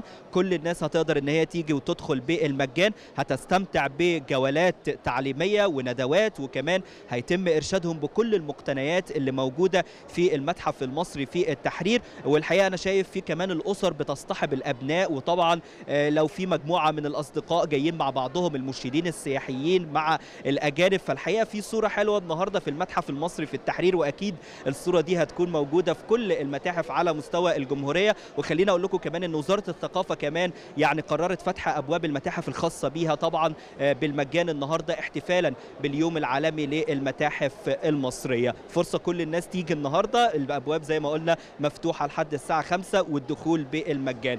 دي كانت الصورة من داخل المتحف المصري بالتحرير احتفالا باليوم العالمي للمتاحف. برجع لكم في الاستوديو مرة ثانية منا وشاذلي بنشكرك يا محمود وعايزك توصل سلامنا كمان للأطفال اللي وراك اللي بيعملوا bye bye وعايزين يطلعوا في في التلفزيون وهم مبسوطين كمان بالزيارة. آه، وصل لهم سلامنا وبنشكرك طبعا على كل هذه التفاصيل. محمود جميل من المتحف المصري. هنرجع مرة ثانية للدكتور ولاء بدوي خبير المتاحف والتراث ومدير متحف الآثار بقصر الزعفران. دكتور زي ما حضرتك شفت وتابعت الإقبال مش بس الأجانب لا ده في أسر واخدين أولادهم وفي عدد كبير من الأطفال أكيد طبعا اللي اخذوا أجازة موجودين في المتحف. إحنا حاجة مهمة من الحاجات اللي كنت بتكلم فيها مع حضرتك من شوية فكرة إن المتاحف حتى على مدار العام عاملين نظام حلو قوي في دخول المتاحف حتى بالنسبة للمتاحف ال- ال- المفتوحة بقى زي ما بنقول مثلا زي شارع المعز وغيره بالنسبة للتذاكر وسعر التذاكر المخفض بالنسبة للمصريين وبالنسبة كمان للطلبة. والحجز كمان بيكون من خلال الم- المكاتب اللي موجودة في المكان من خلال ال- الفيزا أو من خلال الكارت. في منظومة حلوة جدا على فكرة بتعملها دلوقتي ال- الوزارة في تخفيض سعر التذكرة بالنسبة لل- للطلبة عشان تشجعهم أكتر على إنهم يكونوا موجودين ويزوروا المتاحف. ده طبعا موجود من زمان مش من دلوقتي. يمكن زي ما قلت برضو في السعر، حتى البداية السعر برضو كان- آه حتى آه. ده لما يتعمل فوكس والناس تعرف. هي هي النقطة ال ال ال الإتاحة والمعرفة. هو ده ده ده ده, ده كانت آه، السبب الرئيسي لإنشاء المتاحف.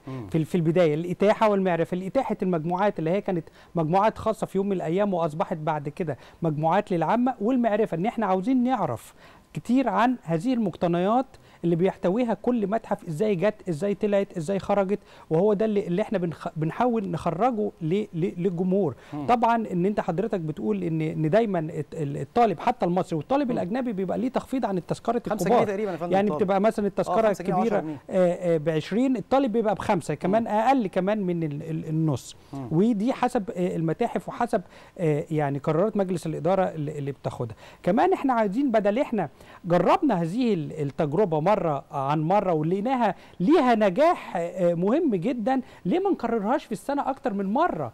ليه ما بنخليهاش بس؟ يعني إحنا دلوقتي إحنا بنحتفل بيها تقريبا آه، سنة عن سنة أو كذا في اليوم العالمي للمتاحف اللي هو بيبقى 18 مايو. مبادرة بيقدمها دكتور ولاء آه، البدوي خبير المتاحف والتراث إن إحنا نقدر نعمل اليوم ده أكتر من مرة في السنة.